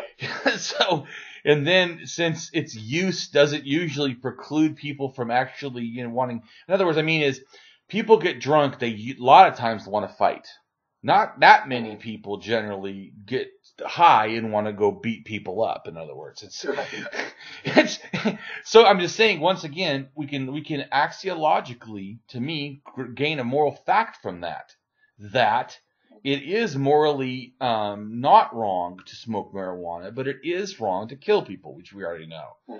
So things that do kill people, we can start to say maybe they are wrong. But see, then do you have to understand, well, but then alcohol would have to be under that. That it could be wrong because it does kill people. So, but th- but that but see, I have before that one that you said about respect. I have that people own themselves. For me, as my first, I start with that because you're I'm not you. So I mean, I, I already am aware of that fact that I'm not you, and that changes everything. A lot of things, not everything, but a lot of things, because I'm not you. So I I I can't be, you know, the one to tell you everything what to do. So it, people can be different, but I, there is to me an axiological fact of, like you said, eh, how much can they be different to where it becomes harmful? We need to know mm-hmm. that. Sure. So sure. if someone says, "Well, it's it's wrong that Damien has a red beard," is it? Why is it wrong? So you're going to have to give me once again justification. Why? Mm-hmm. Why is it wrong? What about it? I, I love I love this this one to help people understand the concepts. We appeal to authority too much because we learn this from religion and gods. As as atheists, mm-hmm. we should. And I'm a rationalist, by the way, not a skeptic. I, I don't mm-hmm. doubt things. I start with reason. You push me hard enough, I'm going to keep reasoning. That's what I do. Mm-hmm. And if I do ever doubt something, it's because I felt it was reasonable. but anyways, I'm just saying. So when the concept uh, um, uh, of gods and stuff makes us want to generalize because they teach us this, but it's not really appropriate to do that. There really is a lot of layers of value. That's what I really want people to understand. It's not just looking at the world and seeing one, one, one. No, it's like one has 10,000, one has three, one has eight. I mean, it's not, it is, and it, but there's different things that come off of it because you have the intrinsic worth of the person, you have, you know, their extrinsic or what they're doing, you have their systemic, how it affects. So there's multiple layers of things always.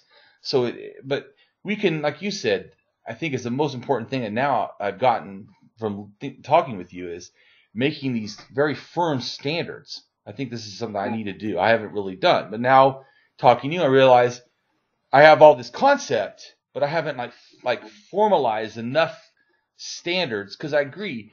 Uh, really, once you get standards, that helps everybody, including me, to navigate our stuff. Exactly. Yeah, that's right. Yeah. Yeah. So if everybody is starting from the same position, then all the little nuanced problems that, that arise you have principles that you can use to clarify the problem, and then you can make your judgments based on a clarified problem and not a not a big mix of emotions and, and confused thoughts and, and things like that.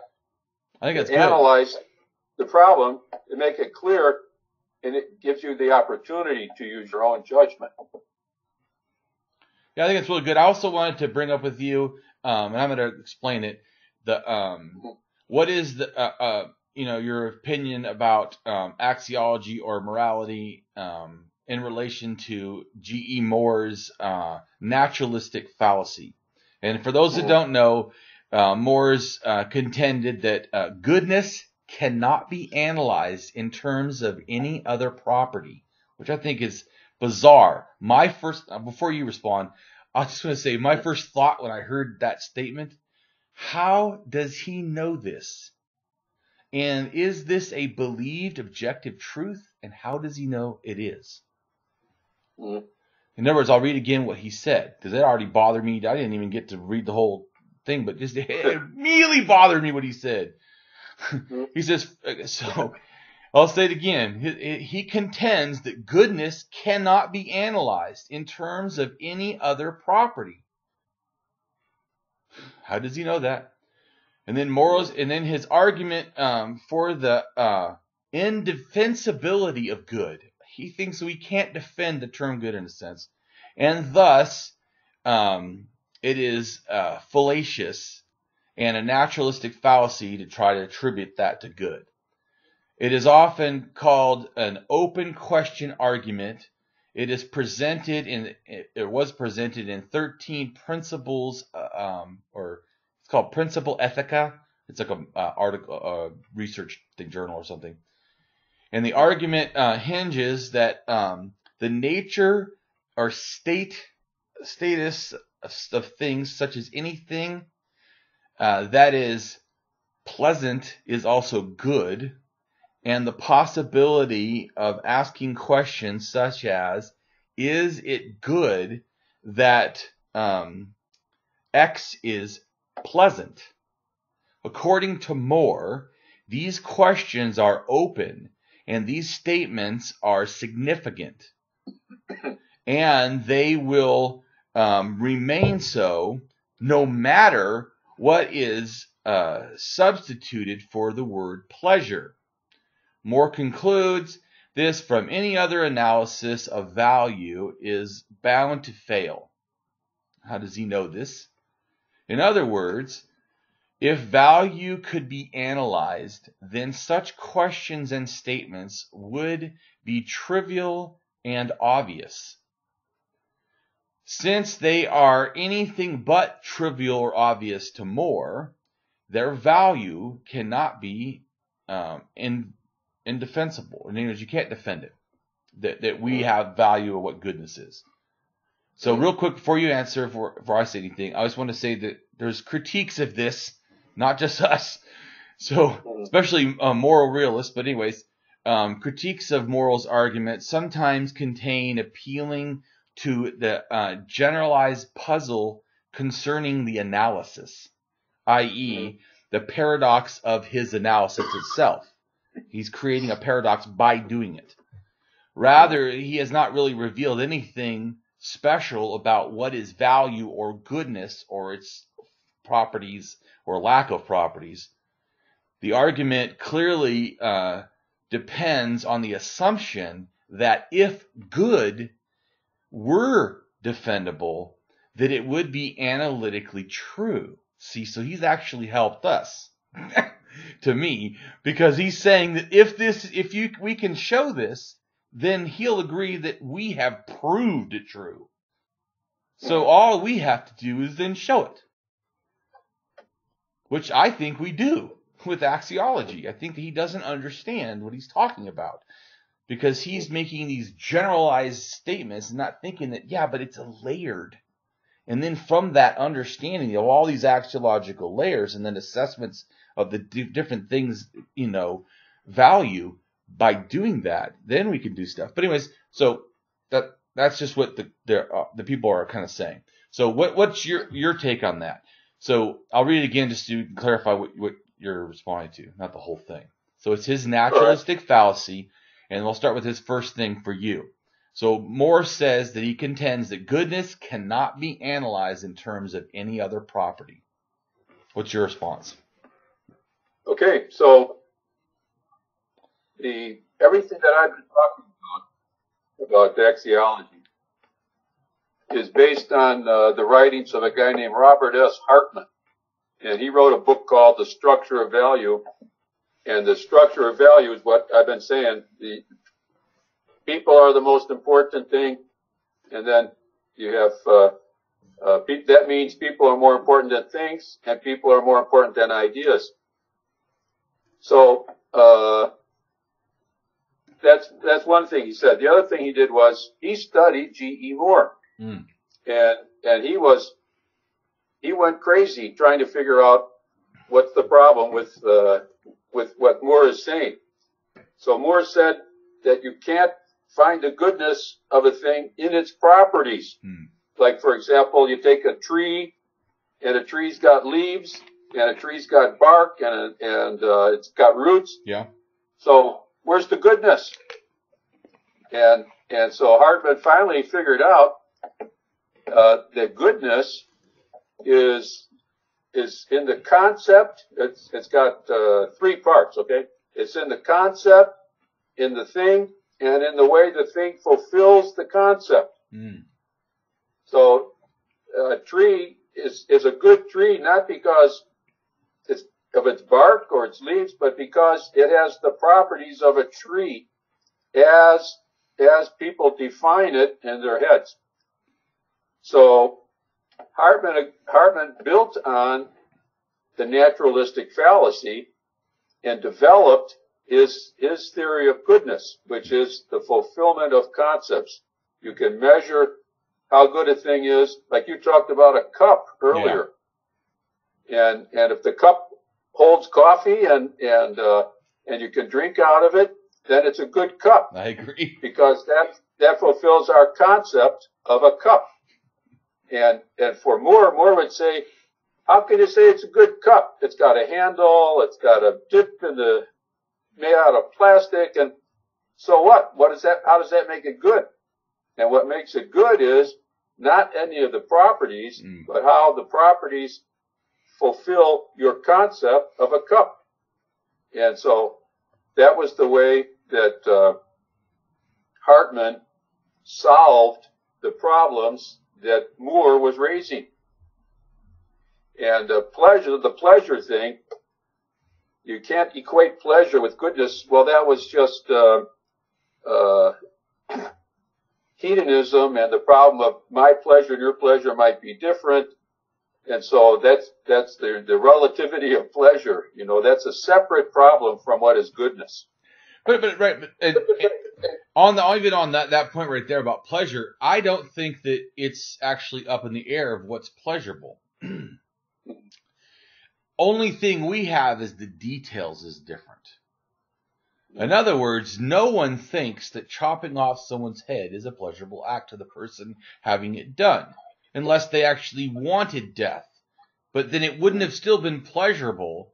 It's just that they wanted death even though the cutting would have been very painful in a sense. So it had the pleasure principle in a sense didn't change. So I, I think of it, it's easier axiologically to make judgments on things as a group of ideas. Mm-hmm. I think so. We can say that it's it's it's not pleasurable to be burnt alive, right? We can say this. I mean, this is not even a, it's a one. it's not like I'm saying you know stuff. So I can we can all say objective truth in a sense for humans or for sensation beings, being burnt alive is not pleasurable. So that means we can, it, but this is what reminds me, it's easier to say what's not pornography than it is to say what's art. Because in a sense, what's art? Every time we add a line, a curve, a, we're adding art. Man, humans like love to, to put art everywhere. I mean, we put curves on, on buildings and things just because we love art. But do we love art, as you were saying again, more than human beings? Here's this thing that we do all the time art everywhere. But is art more than human beings? Well, the problem is some people say yes. People have killed for like a, a picture of art. They've made it more than human beings. I mean, it's it's so it's it's uh, extremely uh, the problem to me. I always see it as an axiological problem before a morality problem. It's an axiological problem because if we both understood that, say, burning people alive was extremely terrible and hurtful to human beings, and like you said, if we axiologically know that because I'm a human being, I wouldn't, you know, in a sense, think that it's okay to burn me, you know, and I don't think it's okay to burn other people because we all know objectively that that causes pain and it's going to be terrible. It's not that hard to say that it's not pleasure and we shouldn't do it to others, to me, and we're not, mm-hmm. we're not it's not subjective that we all know fucking pain hurts. I mean, it's not, it's not a, a, subjective thing. The, the, the, the subjective thing is where is it pain that hurts in the level of where we don't want it and pain in a sense that we like. In other words, we like scary movies. Well, being terrified has never been something we consider to be valuable. But mm-hmm. Yet people go to these movies because it terrifies them. So they are obviously having some value in terror. So, so when I say terror has no value, I've actually not looked at humans, have I? Because that's something we would say, but that is not an actual fact. So if I said it's a moral fact that people don't like to be terrified, so we should never terrify people, actually I've not said a moral fact. And I could say that because it's not, because it doesn't match reality. It's not corresponding to reality. Or the corresponding to the concept of, in a sense, human human dignity or whatever. Humans owning themselves. They, I couldn't do it because of all these other uh, things that, that show me where to place the value, where to place the moral weight, where to place this moral reasoning. Moral reasoning is the ability of navigating these moral weights, these axiological values to me. Mm-hmm. Yeah, and another thing with like with pain, uh, for for an athlete training, uh, the, the pain is a sign of progress in yeah. the development of his or her muscles, right? right. Yeah. And so in some cases, pain is good. No pain, no gain. Right, exactly. Even, even when you're dieting, you know, I mean, I can tell you from experience. Oh. And, and it's a struggle not to, uh, not to eat something to, to ease that pain. Uh, but, uh, there's a, there's the extreme form of that would be like the, uh, the religious people who whip themselves, you know, because of their guilt. Right. And they think oh, this, this is really painful and they're tearing up their skin and they're bleeding and they're thinking, God loves me because I'm, I'm torturing myself. I'm punishing myself or castigating myself. And so there is an element there where pain can be good and pain can be even self-inflicted pain can be good and self-inflicted pain can be crazy. And, and you really have to look at the concepts involved the, the motivation of the person uh, who's who's causing themselves pain. Yeah, I think you bring up some uh, uh, things. It sounds like a lot like common sense to I think both of us in a sense. Uh, People hear that and go, oh, "How come that's not just common sense standard for morality?" Uh-huh. And then I I would ask you, so why would you say that we couldn't just have a common sense in a sense? I, you know, I'm I'm being it's a colloquial term. I'm not yeah. I'm not trying to define, I'm just using it colloquially. Common sense, you know, standard for morality. And like, um, what I mean is like you said principles, but common sense would mean that almost that we're constantly to lead that. I mean, I'm reading from the, the what the Christian, you know, term. Do you have common sense, you know, standard for morality? I'm just thinking. I think they mean intuitive, right? Because they're because common sense to me would mean not like what you're doing, or like even me having a standard of saying, that uh, people own themselves. I think it means no principles. You just constantly, intuitively, whatever happens, you just kind of react. Why would that be a bad system? Well, common sense is uh, largely social conditioning, so that it's common sense in Saudi Arabia for women to to not to drive. It's common sense, oh, you know. Yeah, it's common yeah. sense that they have to wear a burqa they have to have a man with them when they're on the street. And if you catch somebody shoplifting, it's just common sense. You cut off their hand. so, well, common sense is, uh, you know, it's a culturally different thing. Yeah. And that's why you need to have analysis and you need to have moral or principles of value yes. so you can analyze this. Is it, is it really, uh, are the values in the correct proportion there when you say women have to wear burqas and can't drive, or you cut off a guy's hand for stealing, shoplifting something. Is are those values in proportion? They're not in proportion if you think, you know, all people always deserve positive regard, and and and then you have to justify why you disregard their the, a person, why you have a negative situation for people, and so there isn't a justification for the treatment of women or cutting off a guy's hand because he stole something.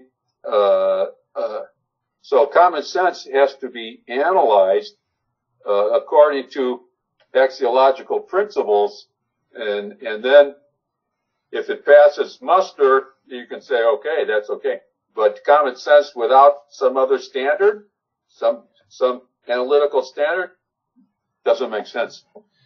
Okay, the other thing would be is this a fixed or an evolving standard? In other words, like does would it change over time or place? Or do you feel that an axiological standard is in a sense is more fixed. Well, uh, by fixed, I, I would say you have a commitment and you don't change your commitment. Also, uh, human beings are a biological organism. So as long as, as long as the biological organism is there, then, uh, man is the supreme being for man, or humans is the supreme being for humans. There was a time when there wasn't a biological organism, and maybe in the future there'll be a time when there's no biological organism. But for that period in between where you've got the biological organism, then the standard, uh, everybody deserves respect, that standard would hold. Hmm. So are you saying? That, yeah, I understand. So you are you saying right. that um, it's self-determined? I'm I'm just reading the the, the, the Christians' questions. So is it yeah. self-determined? And why not um, just have a self-determined standard of, of all morality? Uh, did you say self-determined? Self-determined. That's what they say. If if you say morals are self, let's read it. Are, if you say morals are self-determined, then uh, are they true for everyone or just you? Well, um, I, I think I would have to say uh, that if I believe in my principle, if I'm really committed to my principle, then I then I say it's universal. And so and so uh, for me, uh, all people deserve positive regard, and and the disregard, any kind of a disregard requires justification. Uh, so for me, that's true for everybody. so, so, the, so, so is that, is that, so hold on though, but is that, I agree with you. This is something, but to me, then you've just stated a moral fact. What's that? You just did that, that universally you believe that universally all people should do the the, uh, the everyone deserves um, respect. Yeah. I, I have no problem yeah, with it. I'm not. I'm not disagreeing with you. I'm a moral realist uh, to an extent. Yeah.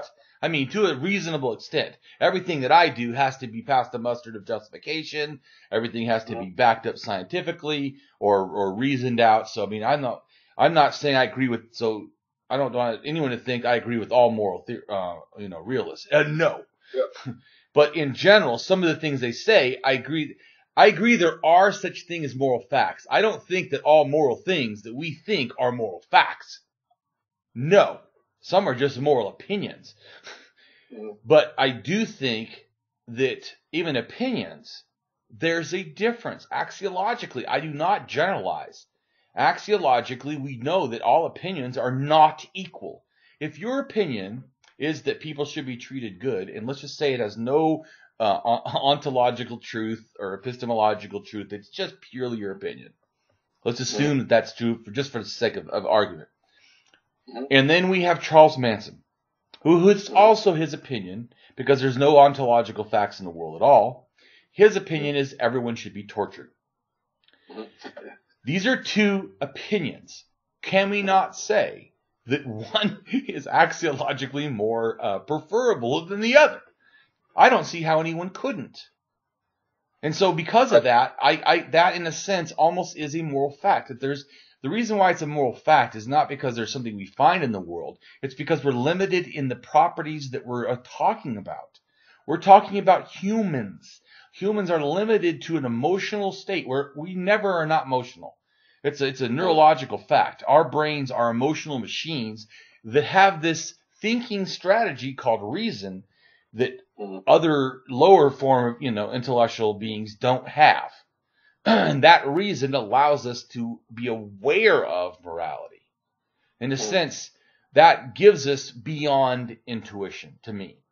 Because intuition just gives us the, the desire for, in a sense, gives the, the weight to our axiological value, our desire does.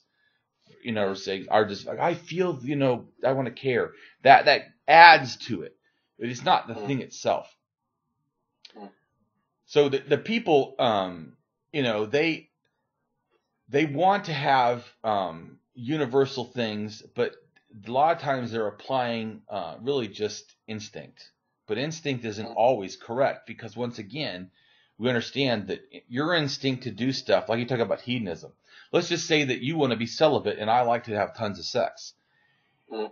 Is there a axiological judgment? To me, no. But people want to be able. So sometimes we don't know when to apply things and when not to apply. Mm. Like you know, so if you like eating pizza with with you know pepperoni and I like eating it with mushrooms, to me that's not even a moral question to even ask like it is a moral question is is forgetting. Unless you want to talk about the toppings. But once again then you've you've you've not made the main um, problem. You're focusing in on the details which i think we should. Is pepperoni meat? Is meat killing? Mhm. some people think it is. So but that, that to me it was just weird to me about about that is they've axiologically done something wrong. Like you said if i'm a tiger and I kill people, am I doing something immoral? And you would, and a person would say no, because that that animal doesn't understand larger concepts of morality or human worth or worth. It's it's just basically to me operating on a kinship morality, like bonded to me. That's who matters, and almost everything else is is not valuable or is open to being disvalued at least. Maybe they don't inherently look around and devalue everything, but everything in a sense is open to being disvalued. I mean, lions will kill other um, babies that are not theirs. They have no value even for, you know, lion life. It's just familial life. But so, like, but if we were, you and me were lions, would that be unethical? No, under that system. So, but intuition is not enough to run morality to me. Mhm. Because intuition would say, like the lion, only caring about its family, that killing anything else, fine. Yeah, but is it fine? Mhm. Just can, can, in other words, could they just kill at will? Could they just every day just kill, not even for food, just kill? You know, would that you start to understand that, that there's everything has this um, balance in its environment. What is it doing? Can we, like I always tell people, to me, I don't put axiology in uh, trees in a sense, that much value. Like if I said, what's the difference between killing uh, um, Bill and killing a tree?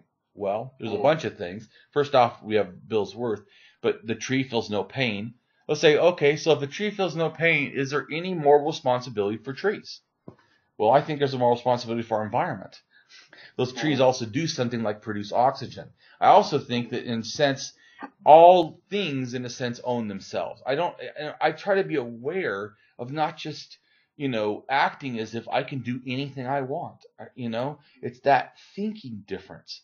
It doesn't mean that a tree is as much as you. No, that'd be insane. But to say a tree has zero value, of course that's insane. Of course it shades people. It for it helps other other you know animals and things and environment and just in general. Just think: is there any moral problem? I've thought about this before, and I, and I think there is. Is there any moral problem of say eliminating all oak trees? I mean, all of them. Not all trees. There's still oxygen. There's still shade. Animals can still do something. Is there wrong something morally wrong with intentionally, like taking out one set of tree? It- and I think it's an awareness that that we have to behave in a more um, uh, non um, I don't know like aggressive manner to wor- the, the world in general. Like you said about respect. Respect is more than just understanding value. Respect is an honoring of the dignity and the value. Mhm. It's a different. It's it's not even just saying because see you didn't just say that I look at the world and say humans have value. You've made the further step from that, which I'm fine with. I'm just saying. I'm just trying to help people understand because I know if they're not axiologists and they hear all this, it can be confusing. You've taken the further step and you've said that not only do they have the value, is it contained in the property of human, that you've already said how to behave, that that thing should be respected. Mhm. So it's already attaching not just its value, but then the duty of what to do with it. In other words, it's all like, like virtue ethics. Virtue ethics says that you know you should do this because it's virtuous. Like respect is a virtuous act. You're giving respect. We say someone's being respectful. We're honoring that they've done something unusual in a sense. So I'm not, but I don't think it's unusual. We're just axiologically, we, we've humans, or at least English language, respect usually means like it's some kind of honor or it's given something. So mm-hmm. you say that all, I think, I, cause I don't, I don't, didn't write, I'm not reading what you wrote down or something, but, um, you said all humans, I believe, all humans deserve respect. Is that what something you said or all, you say it again? All, all persons, all persons always deserve positive regard. Okay. All, all persons always deserve positive regard. So there's multiple things in that. You have all, so that's universal. So that that that, that means that, that to me, when you when you agree to presuppositions, you're then limited to what that means. Mm-hmm. So when you say all, you're saying universal, but that means that you agree that there's a necessity for universal ethics automatically. You, you, in fact, to me, you can't even get outside of it. Because that, at least you'd have to agree there's one universal ethic. But again, that would be a moral fact. One universal moral fact. And I, like I said, I'm fine with that as long as we're, we know what we're talking about. Like you said, not fact is in mm-hmm. scientific found in the ground. Oh, look at there's there's caring for people. Oh, there's respect. I found it. There's a whole, you know, we can mine respect out of the ground. No. So that, that would be a total error. What we're talking about is logical facts, like reasoned facts. That's what I would say. When you know, when I use moral facts, I mean that it, it's justifiable, it's warranted, it's um, it's given its substance, it's given its uh, worth, it's rich with the qualities that uh, you know, uh, emulate what, what that's trying to say. When it does that, then to me, I'm okay with that word fact. But I, but I agree with you. I'm talking about fact as in, like it's a fact that something's a logical fallacy, right? But that's a logical fact. There's no logical fallacies in the world. Yeah. Humans, in fact, if I asked you, well, how do we know that that's objectively true, that it's a logical fallacy, something, anything? See, now you, you would have to give a justification for logic itself. Mm-hmm. and to me, I always laugh when people ask questions like that because, in a sense, that's what you're doing when you ask that question. You've just done logic. You've just analyzed what we were talking about.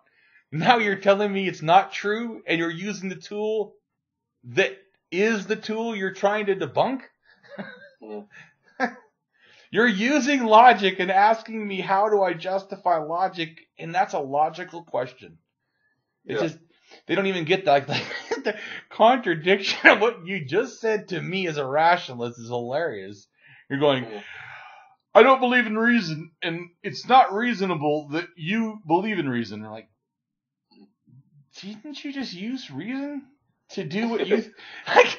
You, do you not really understand what you're talking about? But I think that's it's true in a sense axiologically. A lot of people are just not aware. And when you ask them like value things, they've never even thought about it. But yet, if you ask them, "Are you a moral person?" Of course I am. Like I, I love like, ask ask people, you know, ask people ask me like, "What's what's good?" And I go, "Good to me, and it's a general thing, is do no harm and do help." That is good. That things that have those qualities that don't do harm and that have qualities of help, those are good. I mean, it's a, it's a simple thing in general, like you said, a rule. That's just my general rule. I, I, I don't, if, if I don't analyze it deeply, if I just think a general rule, I apply that. That if I, if I think something is good, or if say you say something is good, it's got to fit those qualities. It's not harmful, like you said about you know, people deserve respect. And it's helpful, which is the respect. It's the behavior, the action. So one is the not doing an action. The other part is the doing an action. That's good. Because to me, good is not just not doing wrong. In other words, good is not just an absence of bad. it is the quality of the doing something that is that is good, you know, that is helpful, that is beneficial, that is valuable, that is worth that, that adds substance, that adds well-being, that adds flourishing. These are the things to me that are good. And so it's easy to me, as opposed to things that diminish that and remove that. And it, it immediately, to me, helps process because once you understand, like, like Hartman did, once you understand how to do good, you realize that actually is applicable to like a lot of things Mm-hmm. in life. It's not just some limited theoretical concept on some ivory tower that a philosopher came up with, you know, so that it makes other philosophers, you know, feel good about themselves. No, it, to me, really, I feel sad that most people are not utilizing axiology, the wonderful benefit it has. Yeah, and I think uh, one of the one of the problems that you're raising is um, is uh, enforcement because uh, people have different ideas about uh, what's good or what's proper or how to act, and so if you're going to have an or if you're going to have order in a society, any kind of basic order, you're going to have to enforce some principles and, uh, and exclude other principles. So, uh, for example, a theocracy enforces everybody to stop and pray five times a day or off with your head, right? Or they'll stone you or something like that. And so there's, there's certain values that some people like. And in our country, not yet anyway, we're not, we're not enforcing those kind of values. So some, some decision has to be made. And so what I do is, um, I just, I just articulate analytical tools so that you can analyze the situation. And so I'm not saying you have to respect everybody or you're going to jail. I'm saying, uh, all people deserve respect. And now let's start with that as an analytical point. Does this activity show respect for people? And if it doesn't, is that disrespect justifiable? By, Mm. for practical reasons, because practical reasons, uh, can override the respect, right? So right, the guy you put in jail, I mean, it's, it's, you, you disrespect the guy in a sense because you limit his freedom, but as a practical matter, he's, uh, he's an active sociopath Right. and, and. Yeah, and not high functioning. put him away. yeah, he's not he's not done 20 years of counseling and worked on himself like me. Yeah. yeah, yeah. After 20 years, if he, if he gets okay, then you can let him out. Right, yeah. And and But- and, and, and, and real quick about that. So I still have the operating system that's not great at at feeling empathy for things, but don't confuse that that means that you have to harm people. Even if uh. I felt no empathy, I could still do ethics with axiology is what I'm trying to say to people.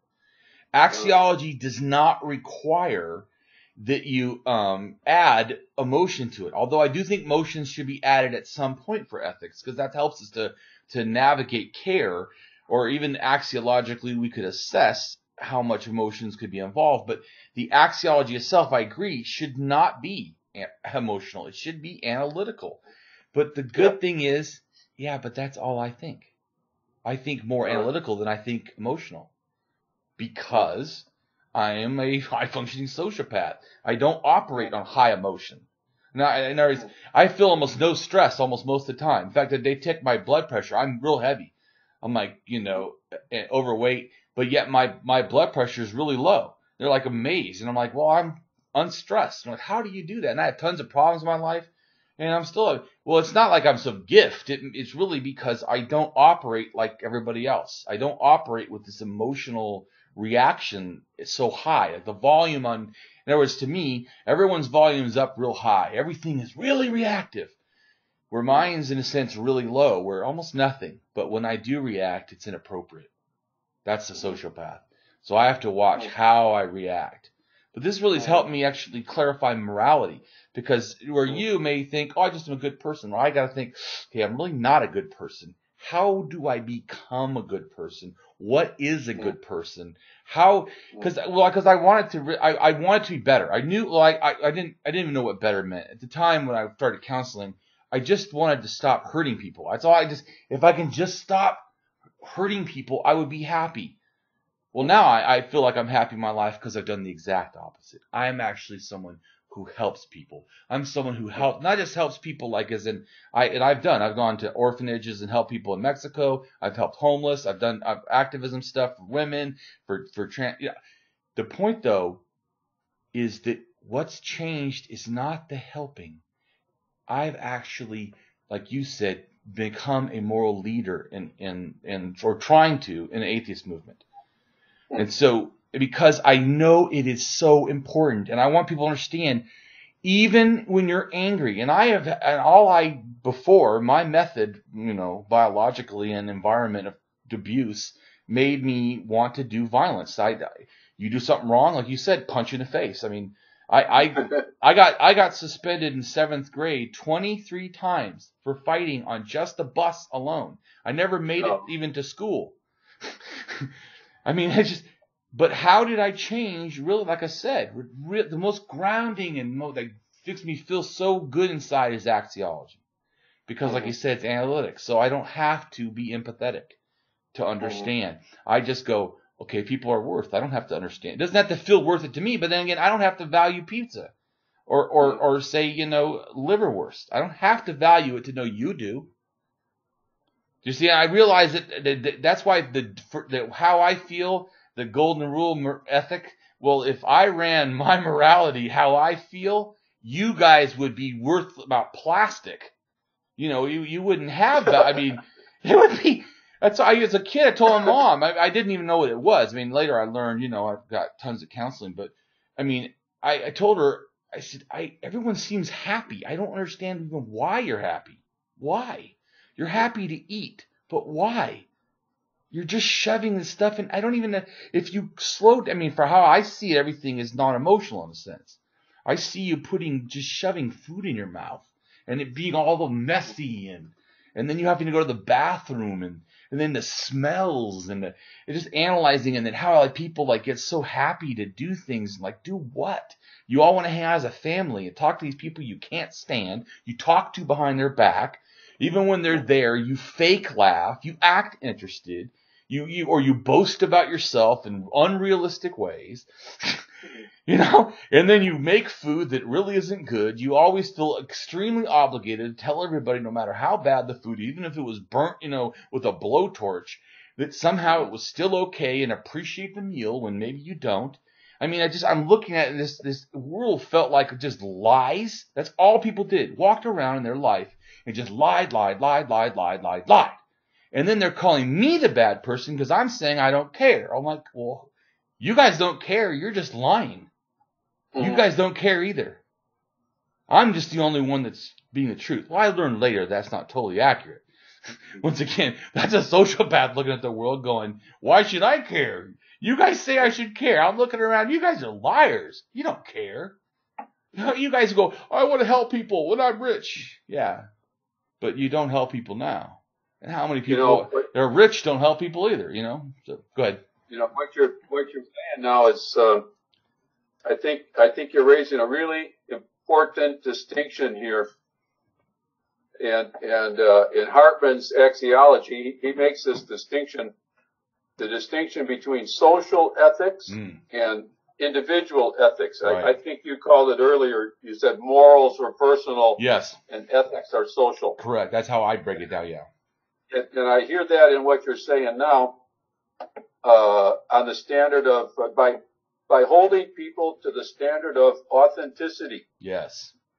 That, that's what I hear you saying. You know, like you're saying, somebody says they like something, well, they're lying, they don't like it, and yes. and the standard there is inauthenticity. Yes. They're not being the authentic person. They're they're being a phony or something like that. Right. And that's a that's a a separate problem from social ethics. You know, yes. uh, everybody's social ethics. You know, if you work for a guy and and, and he says he's going to pay you, he's got to pay you. Right. But but personal authenticity is a whole nother problem.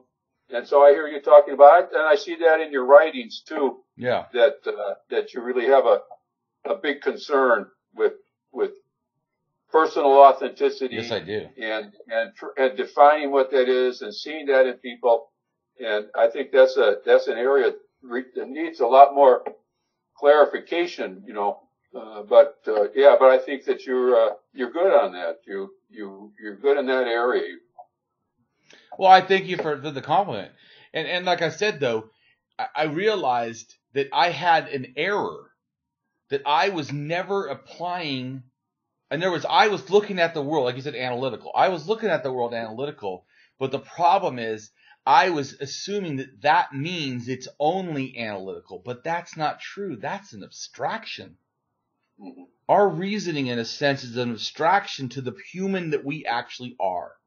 And I was, mm-hmm. as you said, I was, as a sociopath, was confused. You guys don't do that. And, if, and probably the concept of me breaking it down like this probably seems bizarre to a lot of people. But to a sociopath is not because you guys inherently look at people and go, oh, they're valuable. We look at it and we go, no, they're not.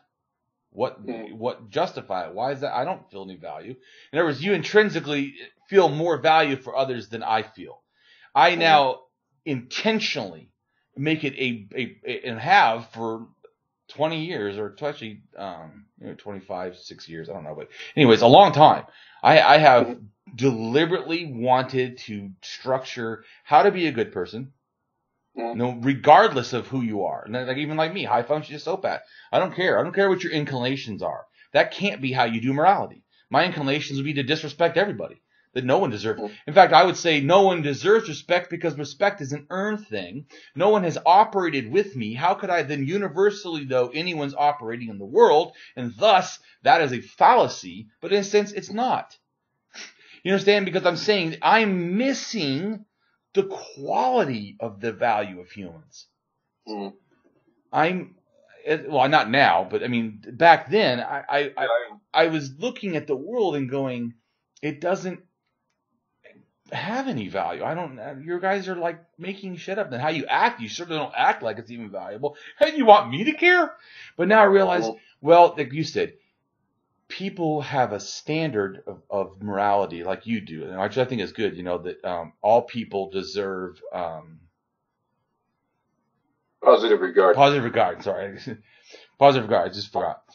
So all, all people deserve positive regard. Because of that, that that is that is a good standard. See, I like I said, the problem is that's assuming this biology that humans are different. That is doing a whole bunch of stuff. I agree with it now, but I'm saying it's looking at all these axiological quality without realizing it. It has all these presuppositions. It's the, it's hmm. it's saying humans have worth. That it's obviously biologically assumed humans for some properties different than animals in a sense. Because how could you classify hmm. them? You know, it, it, starts doing a whole bunch of things, and then because of that, that, that, that humans obviously are attached to something the animals are not, right? Because no other animal we're going to send to jail for a moral problem. So we're only holding morality to other humans. So we're already presuming that. I mean, that's a presupposition that we've pre-assumed this fact. You do, everybody does. But like I said, what what a sociopath goes, why? No, wrong. Uh, you've made this up. You've made up some fantasy. I mean, that's what it, that's what it sounds like. I'm telling you, dude. Somebody you've made up a fantasy. This, like you said about superheroes, it's like you've made up this book and you've said that morals is a thing, which I don't see any of it. I see you guys acting not moral, that even to your own standards, and yet you want to hold me to it, you know. But anyway, so but I, I really realize that that itself is the fallacy, because I assumed you can get outside of morality. You can't. Mm-hmm. Because we're moral reasoning because all morality to me is and it's ethics particularly i'm going to talk about and forget mora- morals because i feel morals a personal issue. I'm talking about how we behave with others. So our ethics so our social thing our ethics with others to me that is the thing that, that really matters about morality. In other words in a sense i don't really care what your values are. I only care how you behave. I don't care what your mm-hmm. morals are how you want to live your life. You want to whip yourself in the back if you want to you know personally you know whatever. But I do care how you behave with other people. Because see, this arena is what really matters. So all the other things about morality are, all that important, but it's really where the rubber meets the road. How we behave with other people is what I really think we talk about when we say morality. You know, it's it's the behavior. So because it's a behavior, it produces things from that behavior. I don't, and I feel like we've given once again to me I feel like, and even now, I feel like we've given morality this like metaphysical status it doesn't deserve. It is a Mhm. behavior just like all other behaviors.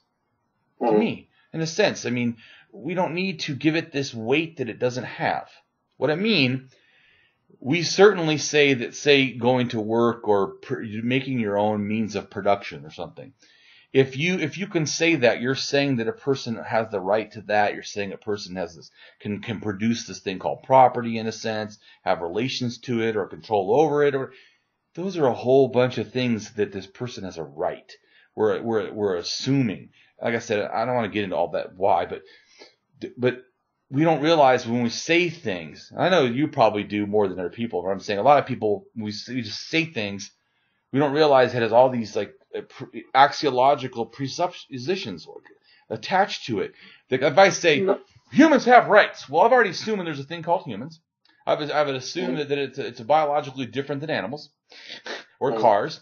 I've already assumed this. I mean, obviously, by that statement, right? Of humans. So I've already there's a whole bunch of presuppositions.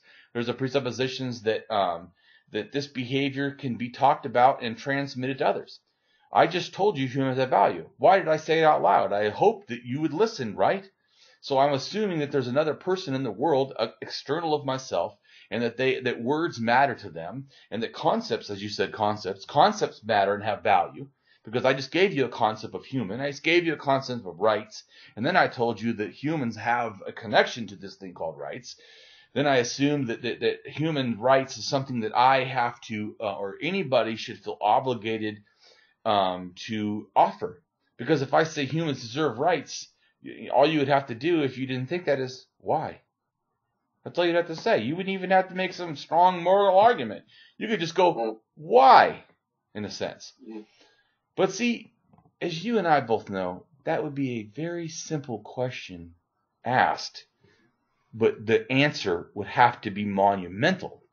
Otherwise, what we really should do when someone asks a simple question, to me, I've figured it out now, is we give them a simple answer. So when Mhm. they say, well, why? You say, because that's the way humans are. See, I gave them a simple answer. They'll say, that's not good enough. Well, either was your question.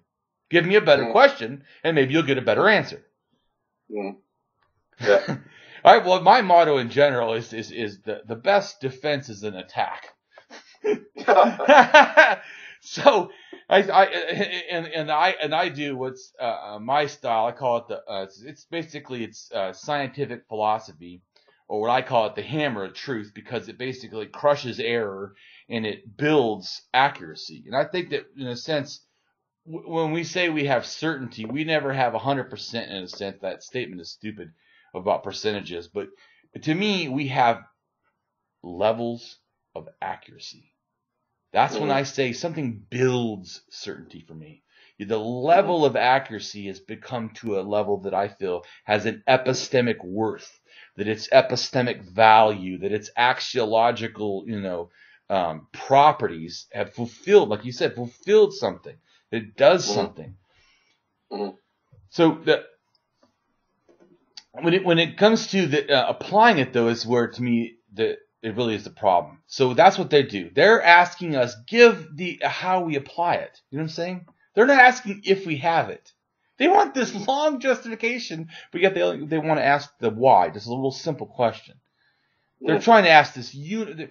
So, but why do we feel that we need to give this universal answer to every small little question? I realize that's. I'm like, why? So I just give. I'm trying to like think about the value because I realize axiologically I have to value my own time, and then I realize that other people do. So the bet the better I can make axiology more accessible, in a sense, easier to use, but still, you know, viable to the general public, then I've actually done something of value. I gave axiology to people, which I don't know sure. what what could be more valuable than that. Yeah. If if you can if you can use it yeah, if you can use it. you give it to them. Will they use it and appreciate it? Well, but you know what? I've done something. No one even knew it existed. so, Yeah. not no one, but I mean, the general public, a lot of people, I mean, I now have at least um, 200,000 people that know about axiology. I'm not saying that Oh, I've right? done. Yeah. I'm not saying that that's you know the end of the world. I'm not done. I've just begun in the atheist community. I'm I'm I'm going to push even harder. Uh, so, but and and I constantly tell people I'm an axiological atheist. I constantly tell them what axiology is. I've even said several times, have told people about you, about progressive logic, about uh, your your um, uh, posts uh, that you've made on uh, academic uh, thing, because it's it's Oh. important. Mhm. So, uh, Right. if if you could do anything you want, what would, let's end this almost, but so if you could do anything that you want, what in the atheist community, what would you like to offer? What do you or what do you think that you could offer that maybe you haven't thought about offering? But if I said, you know, what could you offer? What what, what would you like to see? What, what you know?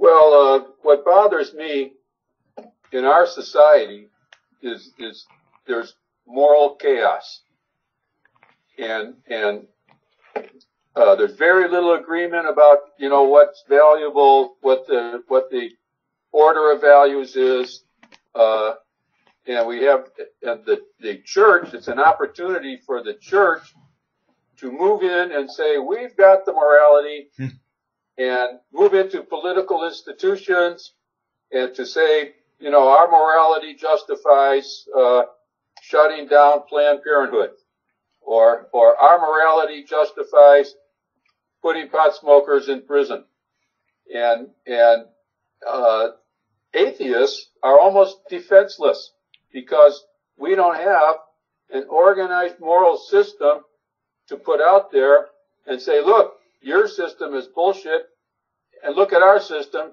Right. which is better. You know, our system is based on humans and, and making life better for humans, improving humans.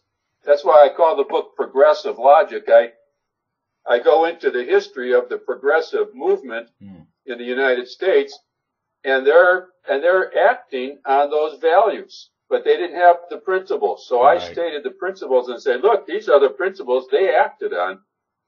And so if I had, you know, if I was God, I would, I would organize atheists and, and, and, and teach them these moral principles and say, show these principles to people like you're doing, you know, yeah. show these principles to people and, and people will learn, hey, atheism has a moral system. Yes. We can be free of God and know how to act Right. and have an idea of what's morally correct. So we don't have the, we're free of God, but we don't have the, the moral truths to tell people, you know, Yeah. and, and so we need that. And, and I would like to see, I mean, I know a lot of people are working on that problem, you know, like Sam Harris is a famous uh, Yes. atheist writer and he sees the confusion, but he doesn't see the, the way to organize the, uh, the morality. Yeah, speaking of Sam Harris, one of the most profound things that I took from reading The Moral Landscape is why he never brought up axiology. I mean, it blew me away. Uh, Half of that yeah. book is talking about axiological things, including that he says things that are axiological statements or supported axiological philosophic, philosophic thinking, but yet never uses the word. It's like, did he even investigate axiology? I mean, I if I if I ever get, I haven't I haven't seen him yet, but I know what I want to ask him. Do you know what axiology is? That's all I want to ask him. Do you know what it is?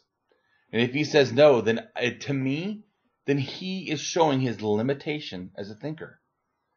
Yeah. Because you are addressing, especially when he says a statement, well, one day that um, you know science will be involved in morality. I'm like, it already has been. It's called formal axiology. What are you talking about? Do you not know that? Yeah. Do you not know that? It, it not only it's been empirically. uh, Um, that's why um, we talked about. I don't remember his name now. Lelam Palalum or something like that, right? The, um, he wrote the book of the new psychology of axiology or something like that. I don't know that book. anyways, he um he he basically has uh, the book is about how um psychology needs to use axiology. That really Oh, I see. and Yeah, I think I know what you're talking about. yeah yeah. So he died in a car accident. It doesn't matter. Oh, I didn't know that. Yeah, he died. Yeah. Oh, I wanted to talk to him Oh, too. I would have got had a video with that guy because I guarantee I would. have Oh, Yeah, I like I like his stuff too.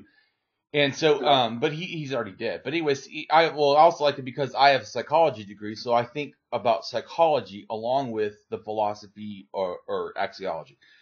So because yeah. of him, um, what it does is, uh, it allows you know uh, me to um, have more empirical grounding. Really, all axiologists, because he studied axiology. I think it was in five or eight countries. I can't eight yeah, countries. Pomeroy Pomeroy is yeah, yeah. Name, right? Yes, yes. Correct. I, I couldn't remember the name. Yeah. But yeah, so he um but he empirically tested, you know, axi- yes. axiology and Hartman's uh um Hartman profile, value. structure of value. On I think it was uh I think it was eight, eight countries in Europe, Japan or whatever, United States, and he was able to prove that no matter the culture, remember this is important because Asian cultures are um, communalistic almost in a sense, yeah. communitarian, yeah. and then most American or you know a lot of European ones are, could be more individualistic. So yeah. And then of course you have religion involved, difference. I mean Asian religions and then you know your European religions or whatever, Western religions. But but the axiology was the same. It was yeah. it was almost the it was not 100% the same, but I mean it was close enough that you can say that we can judge that humans axiologically think a certain way. Axiologically, yeah. I mean, we just we can look at it and see the behavior. We know what they're doing, and then also there's yeah, that goes back to the biology that we were talking about. correct. about. They're uh, limited to biology. Yeah, exactly. There's moral emotions.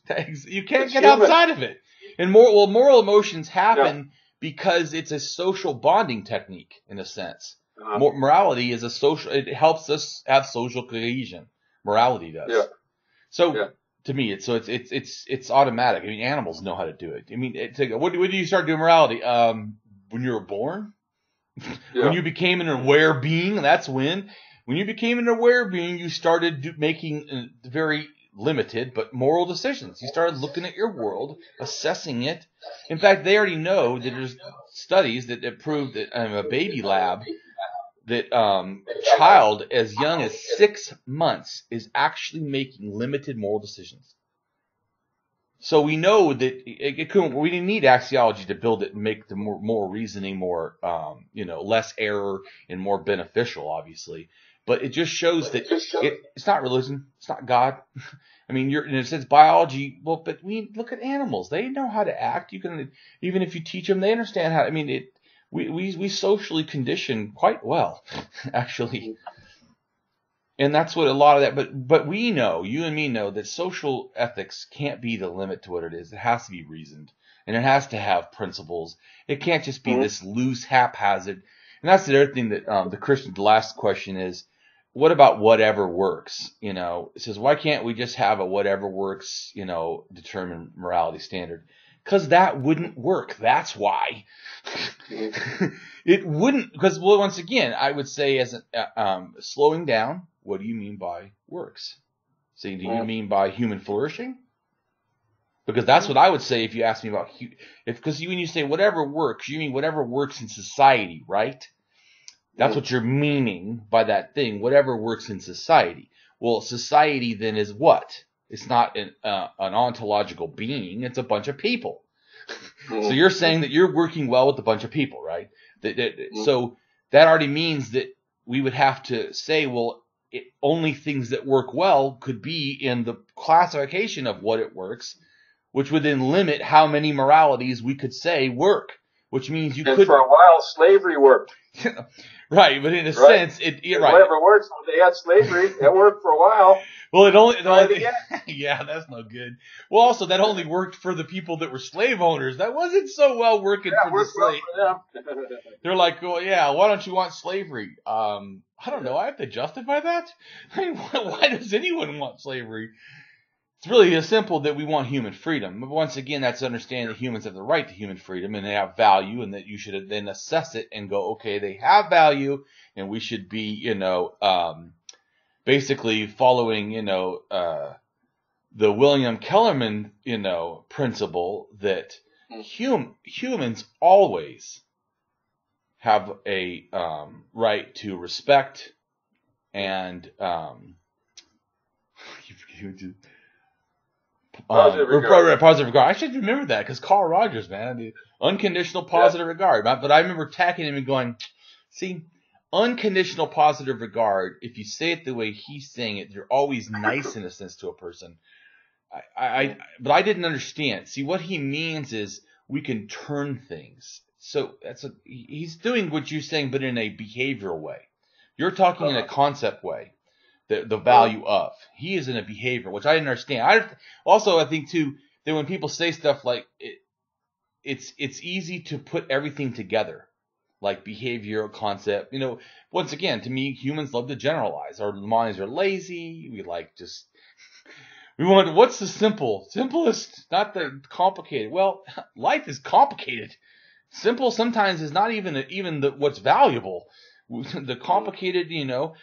So, but it's amazing though. We know that we need complicated like science, but when we go to morality, we want like you know like the cliff notes. Yeah. and so I really appreciate you know that you not doing the cliff notes. I really appreciate you know people out there that are pushing you know that we need to assess things and start having some real morality happening.